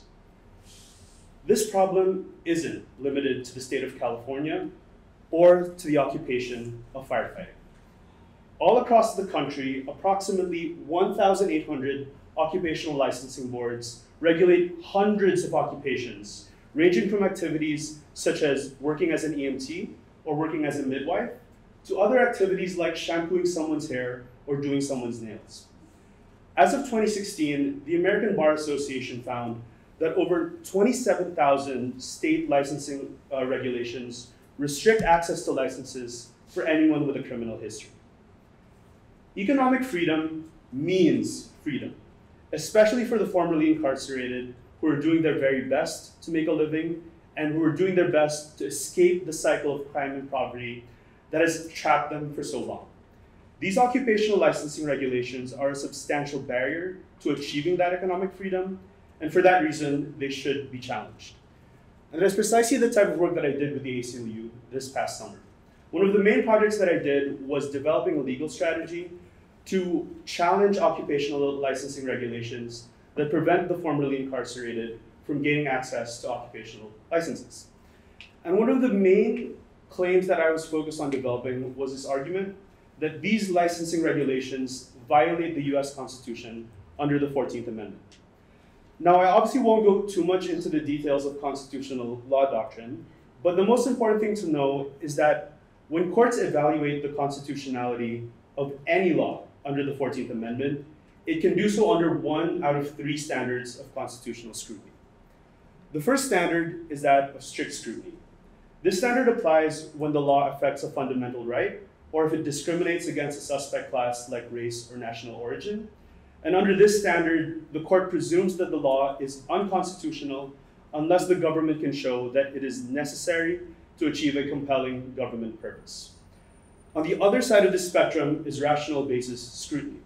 This is the opposite of strict scrutiny because it applies when the law does not concern a fundamental right or concerns a suspect classification.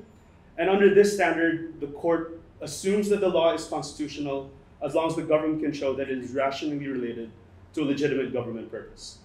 And the third standard is intermediate scrutiny, or what is sometimes called heightened rational basis review. And this just operates in the middle of these two standards. Now, when courts evaluate economic laws like licensing regulations, they usually apply a rational basis scrutiny. And, and, and this is problematic because the standard pretty much operates most of the time like a rubber stamp that approves the challenged law and accepts most of the government's stated justifications for it. Because of that, much of the work that I did for this project involved reviewing case law and finding ways to argue that a higher standard of scrutiny, like intermediate scrutiny or heightened rational basis, should apply for these licensing regulations that target the formerly incarcerated. And that's what I managed to do by the end of my summer with the ACLU. I helped develop four legal arguments that would help inform their litigation strategy as in a way to argue for a higher standard of scrutiny for these types of regulations. The first argument that I had was that having a criminal background or history is a permanent fixed distinction that marks the formerly incarcerated for life. And higher constitutional scrutiny should apply for laws that discriminate against people based on characteristics that are pretty much impossible for them to change on their, on their own. The second argument is that the 14th Amendment protects freedoms that are essential for achieving individual dignity and autonomy, and for the formerly incarcerated especially. Obtaining an occupation allows them to become self-sufficient, to regain respect, and to ultimately thrive in the communities that they return to. The third argument is that laws that reflect and enforce personal private biases do not even pass the low standard of rational basis scrutiny, and very often most of these licensing regulations reflect these personal biases against the formerly incarcerated. These regulations are often based on unfounded assumptions that everyone who has a criminal history is immoral, that they're lazy, that they have alcohol or drug abuse problems, or that they're always a danger to society. The fourth argument and final argument is that disenfranchisement laws, or laws that prevent the formerly incarcerated from voting, and underrepresentation in state legislatures make the formerly incarcerated a politically powerless group. And heightened constitutional protection should be given to groups that cannot effectively promote their own interests or rights through the political process. Those are most of the arguments that I helped develop for, for that, to help the ACLU team working on bringing litigation on this issue, um, for, for creating a, an argumentative strategy, regardless of the type of regulation or specific occupation that they will challenge in court in the future. Now, I just want to end my presentation real quick by, by saying that if we want to imagine a world without prison, where people are free and where communities are actually thriving, a very crucial part of like achieving or imagining that vision, it requires us to imagine the formerly incarcerated serving as our firefighters, as our hairdressers, as our bus drivers, as our bartenders, our fishermen, as our physical trainers, and of them working a whole variety of other occupations within our communities. The formerly incarcerated are doing their very best to make to have and make an honest living for themselves and to escape cycles of recidivism that have kept, kept them trapped for so long.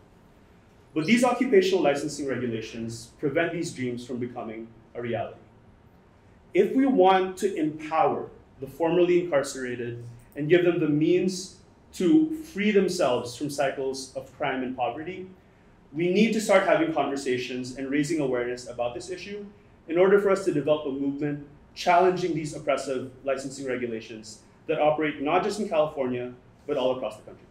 Thank you very much. Hi, my name is Anna Judson, and uh, I'd like to give a warm thank you for all of you staying uh, and hearing all of our presentations on um, structural exclusion in the U.S. Today I'll be presenting about the U.S. foster care system and uh, elaborating a little bit on my work uh, academically and professionally to assist foster youth in the United States.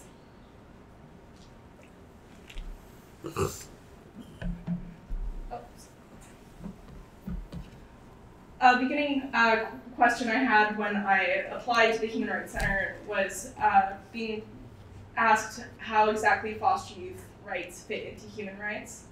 And uh, after taking a full course on uh, political rights in the United States, I got to see the way that the Convention on the Rights of the Child, which was uh, ratified by the UN in the 80s, really held a key standard into uh, why protecting and supporting foster youth is crucial and is an element of uh, child welfare and uh, child well-being that can't be undone. Uh, Article 20 directly provides for the creation of uh, child welfare and emphasizes that children that grow up in these systems will need added support and assistance.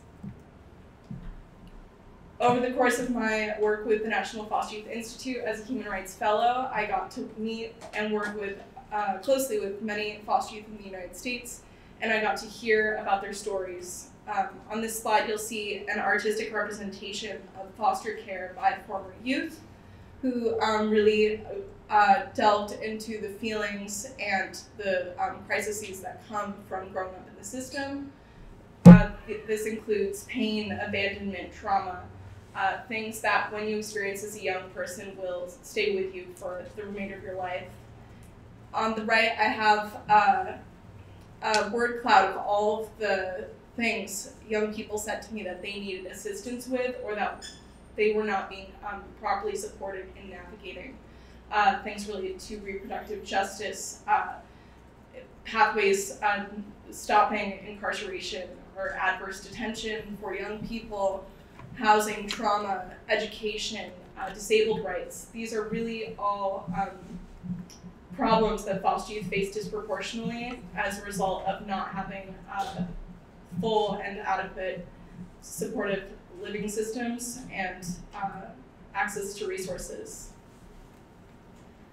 Uh, today I'll be delving really quickly into the work I did in Washington, D.C., my role as a federal consultant um, doing federal child welfare research, deliverables, successes, and um, overall how the summer went.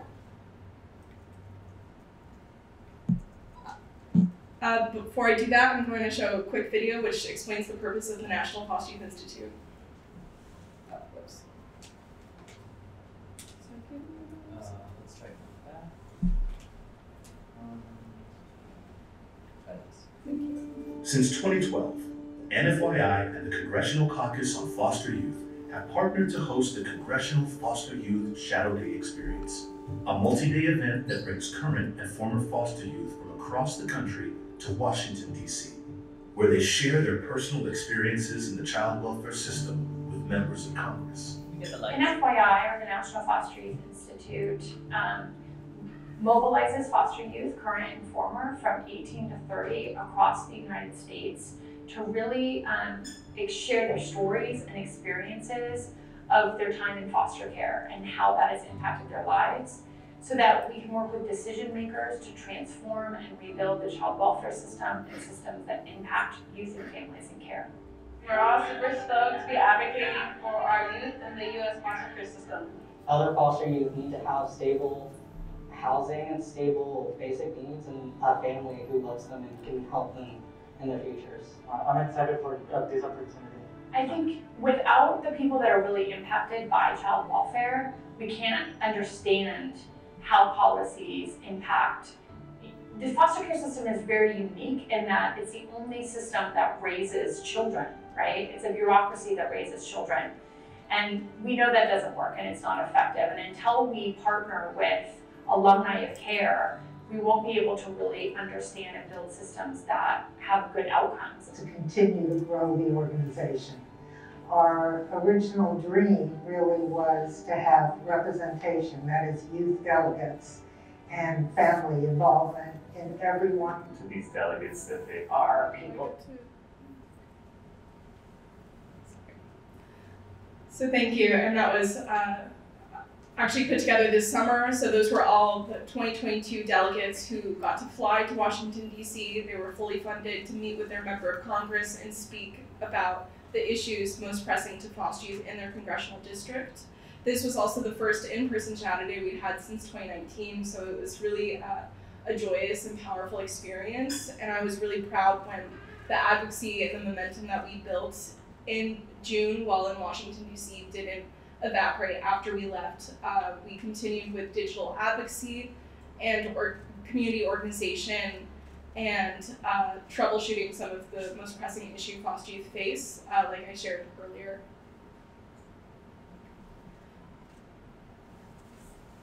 In my work as a federal policy consultant, I was able to do uh, and provide research. So much of the National Foster Youth Institute requires pairing young people with their member. Um, and so uh, we also had to provide them with information on who their member was, their legislative history on uh, bills related to child welfare that they championed. And then uh, part of my role was also doing policy analysis on the problems young people were bringing to their member of Congress and to the organization, and providing analysis uh, and synthesis of that information. Following that time, I think this echoes what a lot of the work of the fellows did. Uh, we decided to really narrow in on the language that was being used at the Capitol and making sure that the language was appropriate. Very often, when you speak to former foster youth, uh, there are words like "you were a troubled child," uh, "problem," um, you know, and many other uh, identities and barriers uh, that go into um, that conversation and the language barriers that people who didn't grow up in foster care often don't understand how to discuss it. So I created a language guide with the help of the uh, delegates, which related to systemic equality, terms for discussing child welfare, and intersectional identities that comprise FYI. Uh, following that time, I, uh, this was the first year NFYI chose to send us to the United Nations Youth Assembly, where I got to meet with youth leaders and advocates around the world on a variety of different issues. Um, ours fit into the lens of economic and social justice in the US, but we also got to have an, a dialogue with youth leaders from all over the world. Uh, I understand everyone in this room comes from a wide variety of different backgrounds, and um, if at any part of this resonated with you or uh, the difficulties that foster youth in the United States face uh, in regards to inability to access resources, gain mentorship, meaningful employment, these are a widespread of nonprofits in uh, local, state, or nationally that are doing really powerful work to further foster youth rights. Um, and this can be in the form of mentorship, uh, donations, um, philanthropy, uh, legal advocacy, and uh, political advocacy as well. Just recognizing that um, foster youth in the United States have faced uh, many barriers around getting uh, support, and it really is the duty of the system to make sure we're well cared for. Thank you.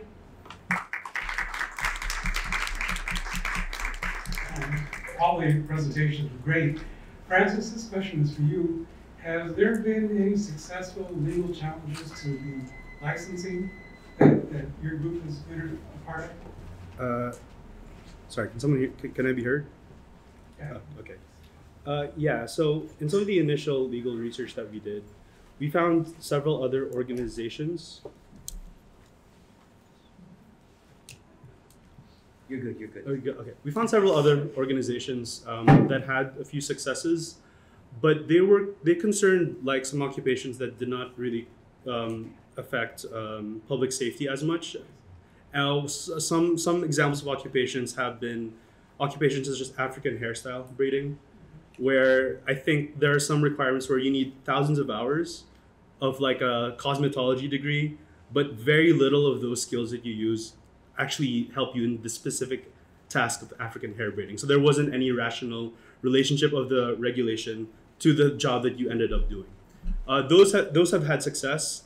Um, specifically for the firefighting example that I raised in California, there was a recent like challenge to it, but because firefighting concerned like issues of public safety, there was a greater like deference to the licensing board for saying that people with a criminal history couldn't do it. So I think a big part of it depends on the nature of the job that's that that's being like uh, in question for the licensing regulation.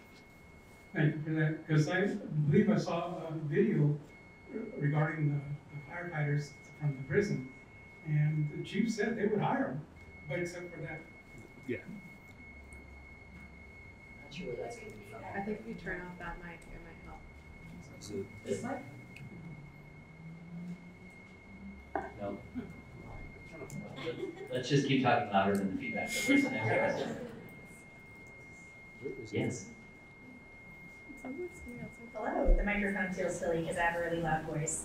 Um, I have a question actually for Francis, but also for Caroline. So Francis, I was wondering about the correlation between like strong union organizing. So I'm thinking about people like United Brotherhood of Electricians, who actually doesn't have an occupational licensing discrimination for formerly incarcerated people, and the extent to which ACLU is actually partnering with unions like that who have successfully, you know, electricians are inside of people's homes, sometimes when they are not there, public safety concerns. Um, and then Caroline, I have a question about legal next steps that your group is working on. So should I go first? Okay. So thank you for actually asking that question because this was a novelty that I didn't present in my presentation because I thought I wouldn't have enough time. But in some of the initial engagements that with the ACLU team I was working with, with some of the states and local actors um, on this issue of occupational licensing boards, one novelty we found was that there are some labor unions that actually were our opponents on this specific issue. Like they were the ones who were defending these restrictive occupational licensing regulations that prevent the formerly incarcerated from trying to get these licenses. And I think some of the ration- the initial rationales or reasons behind it, it was really just to help like restrict the supply of people who can enter like the occupation so that there's less pressure on wages. So that is like an issue that the folks in the team who are, who are working on this have to contend with when it comes to interacting with labor unions. We found it surprisingly that labor some of the labor unions were like opposing this issue, And the people that we learn more about the issue with and we have some initial positive engagement with are actually like conservative, economically libertarian politicians and organizations. It's like an interesting little like novelty for this specific issue. Oh, and then just in general, like legal next steps. So I really like the whole cycle of your argument, right? The storytelling that you did about really bringing to head the fact that this is still very arbitrary and capricious behavior on behalf of the court. Um, and so, yeah, I was just wondering, like, what are what are the next steps for your group or for that group? Yeah, well, so the the office that I was working at is a public defender's office, so their job is to just defend people who are accused of um, death eligible crimes. But I think there's a lot that we can do, um, even in California.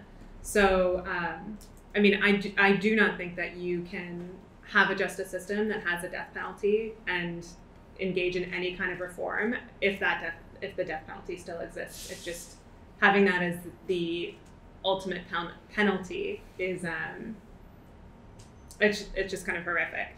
So um, as Californians, I'm assuming there aren't many Texans in here, but maybe there are. Um, we still have um, prosecutors in certain counties bringing death penalty charges against um, defendants, even though our execution chamber has been dismantled.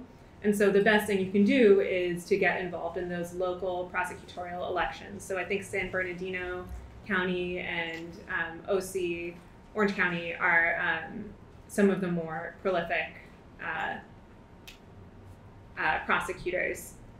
Um, and the other thing is to push for a federal, the end to the federal death penalty.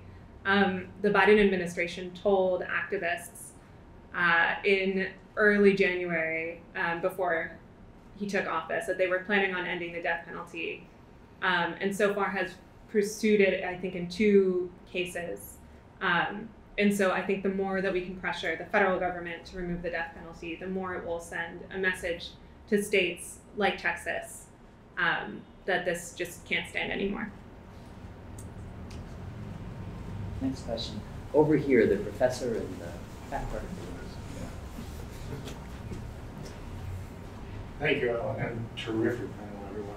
So my questions, uh, first of all, I want to ask Anna, um, in looking at the foster youth movement, how about human trafficking?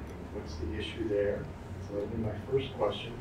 And then I just want to mention with RIA, um, also to let everybody know, uh, probably about 20 years ago, one of our fellows, uh, Dr. Michelle D. Tomas, uh, runs the uh, Vacaville um, Center for Death and Dying Patients in California's correction system. And she's been working on compassionate release. And I was really curious um, for Ria to tell us um, what, who starts that process? Does it have to be the, the, the inmate who's in, who's in detention and ill, and terminally ill, or can it be an advocate from outside? How does that process? All right, perhaps Anna first.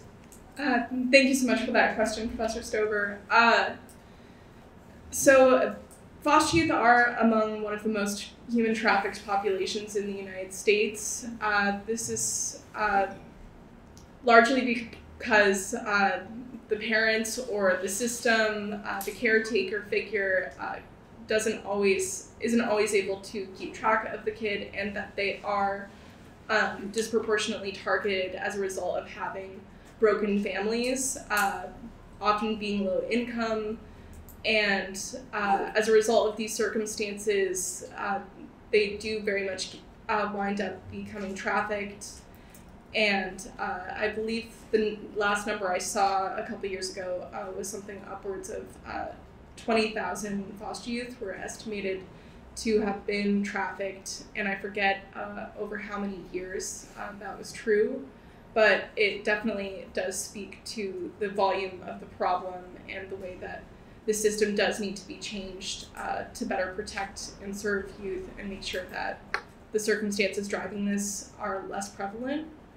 Uh, I'd also like to highlight that uh, this is something that is being worked on by the Human Rights Center. So, it, for any of you here, especially at Berkeley Law, uh, there are ways to get involved uh, with uh, legal advocates who are trying to stop the rates of foster youth human trafficking uh, in the Bay Area. Uh, so thank you again for that question.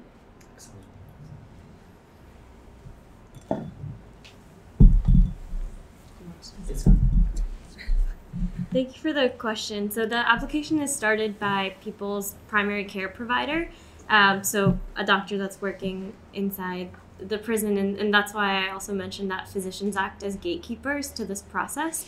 Um, one, I mean, there's an issue of um, do physicians working in the system even know that this is a mechanism, and do they see the humanity of the people they're taking care of to to um, to start this application. Um, in the policy, it's also possible that loved ones um, can ask the chief medical executive at, at the um, institution that someone is incarcerated at um, to start the application. That's not something, that's not a pathway to starting the application that I've come across.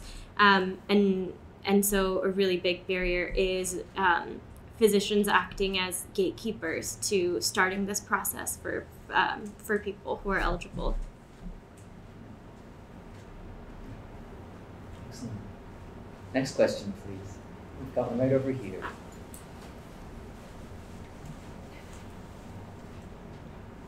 Hi, thank you guys so much for your presentations. They were all really interesting and also very upsetting. So I was wondering whether um, this is for any of you that had, if you had any experiences over the summer that gave you hope or any narratives of hope that you might be able to share with us. Uh, don't all go at once.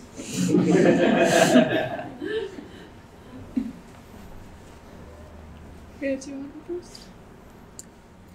Um, sure. I think um, having AB 960 be passed is hopeful.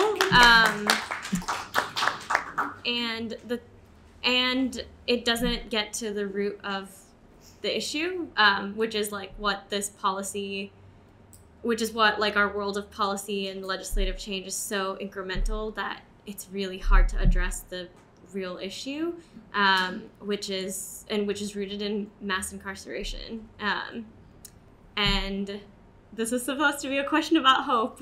Um, yeah, um, I, I find hope in seeing people who continue to organize and finding community in organizing spaces and continuing to push even when even when the path looks really difficult and hard to accomplish um, that we continue to keep fighting in community. And that's i think that's the most hopeful thing there is for me.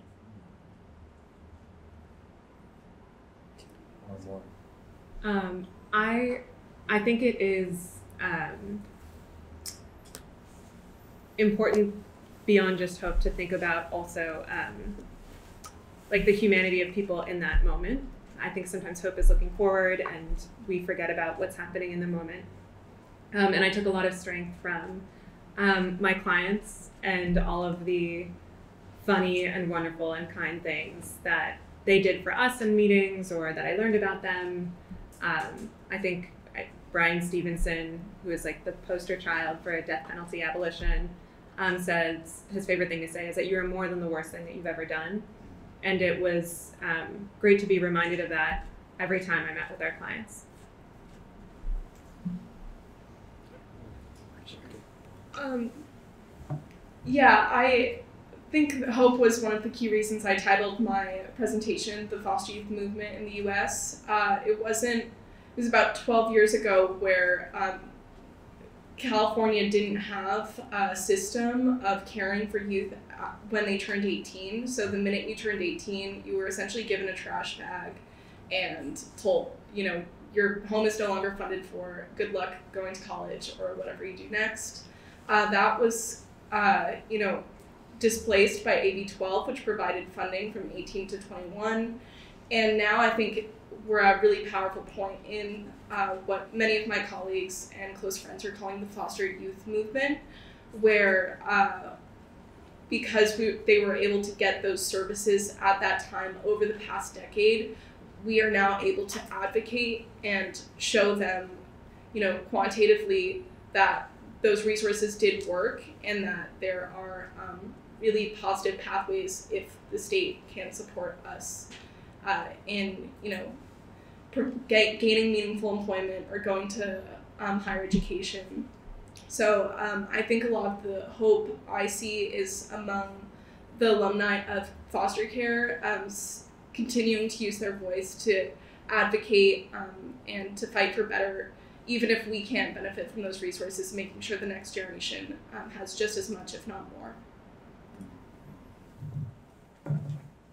And I think for my specific issue, I just want to bounce off of uh, Ria's idea um, because when it came to the specific firefighter issue that I raised in my presentation, uh, a bill was recently passed. I believe it's AB two one four seven that allowed administrative agencies to like have like discretion uh, to consider other circumstances, and not just mandatorily like bar anyone who has a criminal history. They're saying you cannot have like EMT certification or things like that. That gives that presents the possibility that there is space for like organizing and activism and policy advocacy on this type of issue. But i mean just the concern is that there has to be greater awareness and organizing on this issue because of how broad and all encompassing all of these occupational licensing regulations are uh, not just in the state of california and several hundreds of industries but in every single state in this country. So it gives space and hope uh, in that front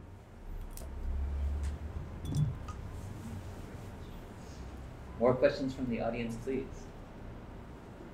Yes, Violet. Can someone bring Violet a mic?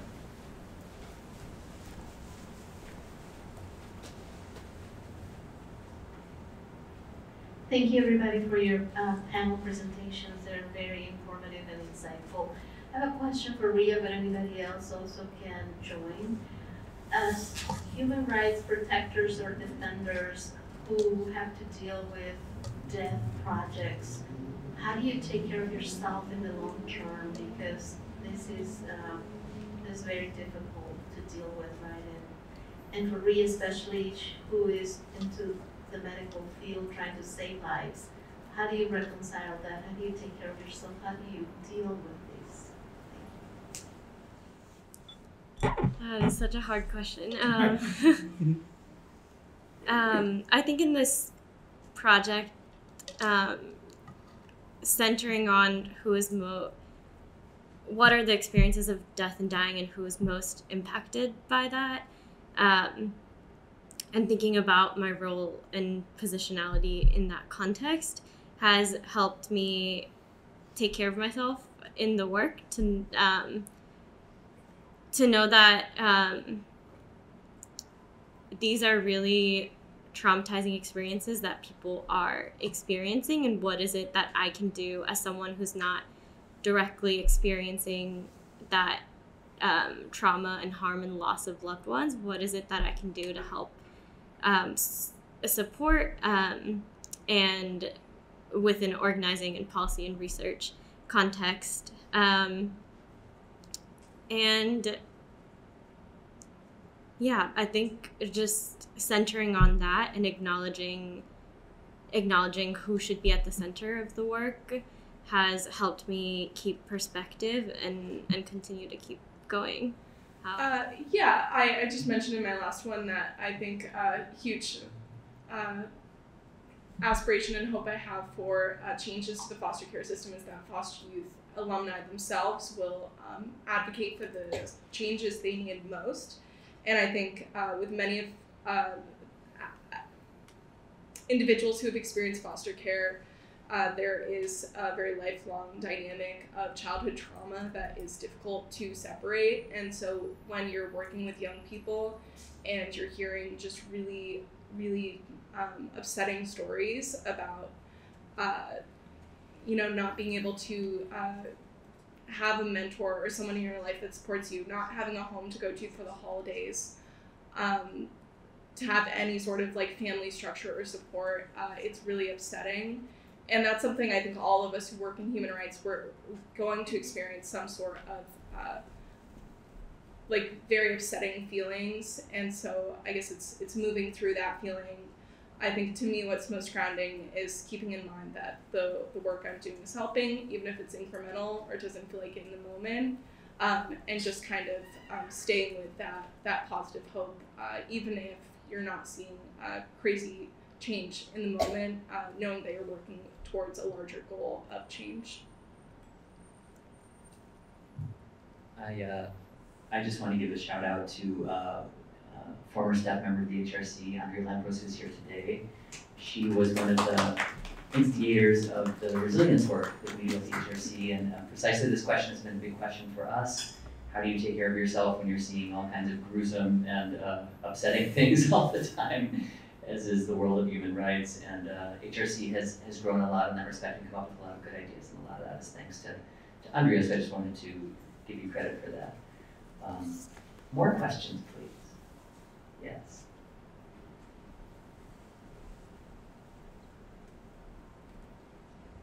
Um, thanks everyone for uh, all your presentations. It was really interesting. Um, first, I just want to say thanks to Anna for helping with the foster youth. I myself was adopted, so that was really nice to hear. Um, my question is very broad. Uh, so there's this pipeline of marginalized communities being sent to prison. And I was wondering, throughout your work, have you seen any progress in dismantling that pipeline?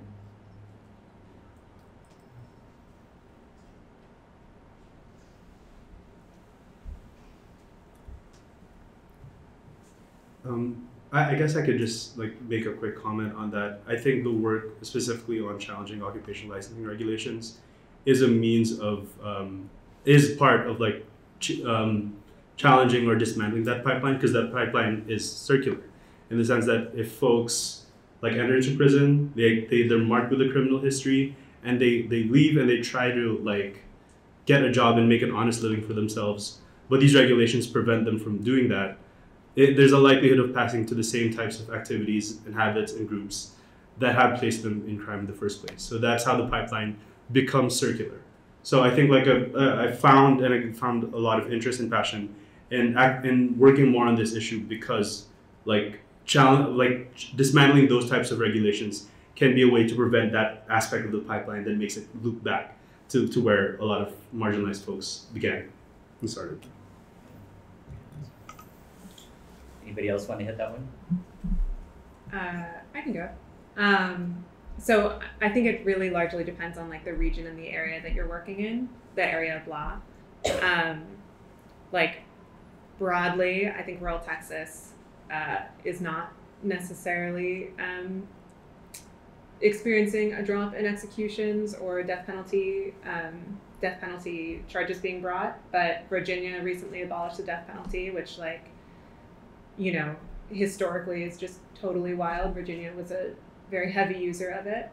Um, and I think separately from that, I, I was at the very end of the justice system, right? The sort of extreme. Um, but there were a lot of similarities among our clients and our my organizations as a whole, all of their clients. Um, and one of the biggest, I mean, the biggest overlap is economic injustice, um, particularly in rural areas. Um, and obviously, there are overlapping spheres of identity that make that worse. But I think um, it's important to think about economically why people are in these situations in the first place.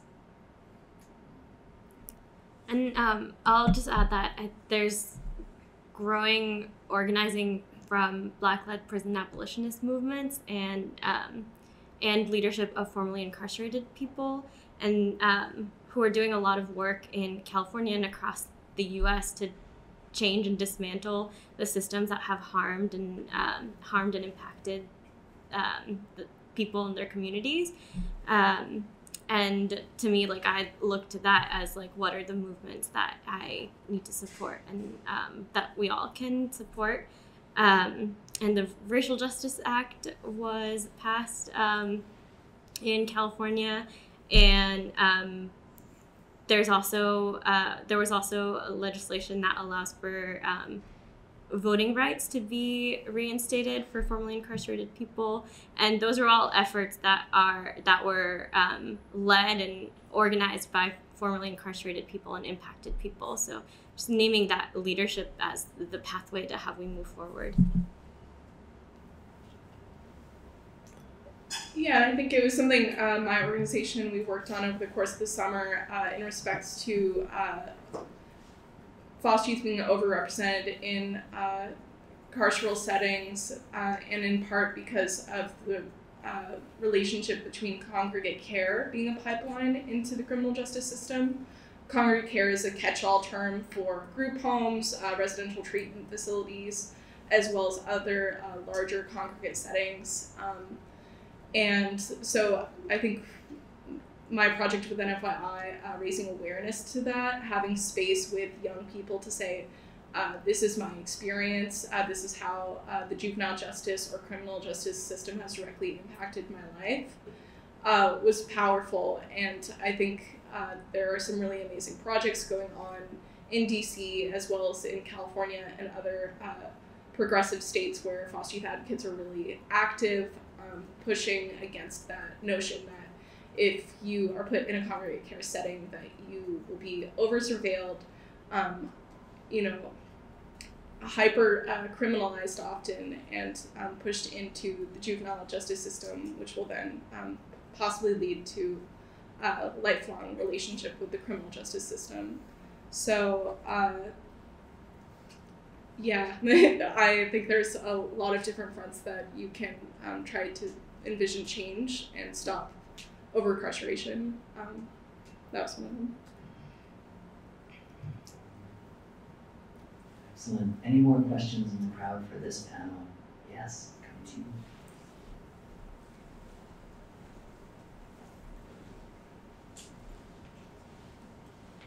Uh, hello. I um, really appreciated hearing all of you, and so I want just want to say that before I ask my question. Um, also, I am also I was also adopted, and so yeah, international adoptee. But uh, I'm wondering where you, the panelists, see yourselves in your work in relation to the nonprofit industrial complex. Uh, we've been talking about that in one of my classes, and relatedly, how does uh, how or how have grassroots movements informed the work you do? In what ways are you working with the people who are most affected?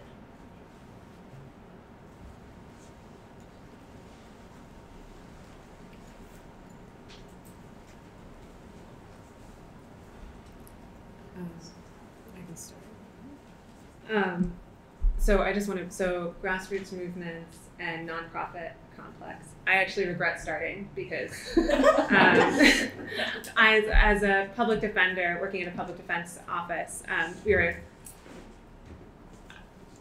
I think we're a government organization, so we're not a nonprofit. Um, but my organization had a really cool model, which is that it um, there's a big problem in capital trials, which is that we don't have um, a lot of public defenders in rural areas who are trained to be performing at that really complex legal level. Um, it just requires a lot of work and time to get to that. Um, and so, in order to fund these lawyers and these um, special offices, um, my organization basically created this kind of insurance. So, it convinced all of these rural counties in Texas to pay into a pot of money. And then um, if uh, you decide, if a DA in your county decides to bring a capital case, um, the expense, and it's an extremely expensive process, is paid out of that pot. So it's sort of like a insurance mechanism that also made sure that um, a lot of people got much better and much more thorough uh, representation. Um, so it's not quite a nonprofit, um, but it is a creative way of addressing this uh, legal problem. But um, I think I think the nonprofitees would be better at answering that question. Uh, yes, so I, I, think it's appropriate for me to answer this question because the ACLU is, especially the national office, operates on such a high level, and you know one of the obvious like obvious concerns when you operate at that high level is the difficulty of directly engaging with the local communities on the specific issues that you're concerned with. Uh, I guess one thing that I can say during my limited time in the ACLU is that one of the best ways that the ACLU tries to address that issue that it recognizes it has is it, it makes it a point to um, interact and engage with like lo- its local affiliates because the ACLU has a national office, but it has like several like other offices in each state, like ACLU Nevada, ACLU North North California, uh, so- Southern California. Engagement with those affiliates who have greater connections to local communities and local grassroots organizations when it comes to addressing specific issues concerning racial justice or racial inequality. Uh, that is one of the ways where, where they try their best um, to engage and inform their approach to litigation when it comes to these issues.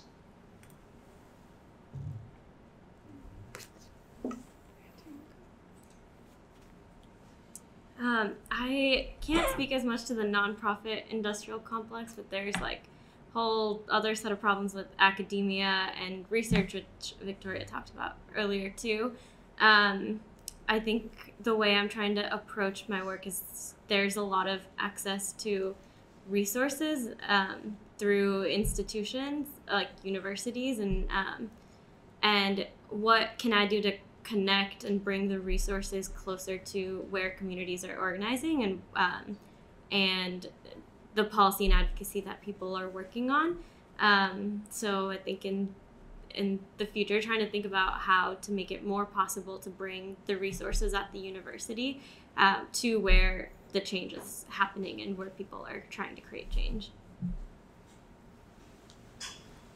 Uh, I guess I'll end. I think this is a really excellent question, and it was one um, my colleagues and I were actually asking um, and have been asking over the past year. Uh, the nonprofit sector, as I think you could tell from the last slide of my presentation, has a very close relationship uh, with child welfare in that there are so many problems that uh, essentially what the answer comes down to is everyone throwing in, oh, well, we just need this new nonprofit. And we can't do everything, so we can provide this one resource, which actually is why I had about eight nonprofits, which I would recommend if any of you are interested in looking into. Um, and uh, in a way, it's good. There's a nonprofit that can fit uh, anyone and their capacity to work with uh, current or former foster youth and help serve them.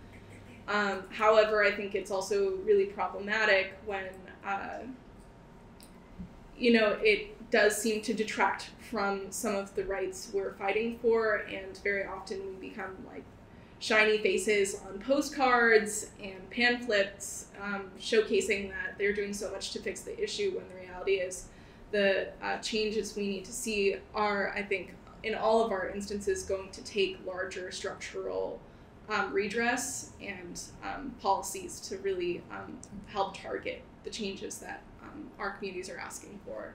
So I think uh, the nonprofit uh, complex is a really good thing to critically question and um, push back against. And just uh, when you do interact with nonprofits, just make sure it's really uh, something you want to uh, devote your time and resources to. But I think there are also so many, and I definitely wouldn't be in this room today without the help of nonprofits. Uh, love you, HRC.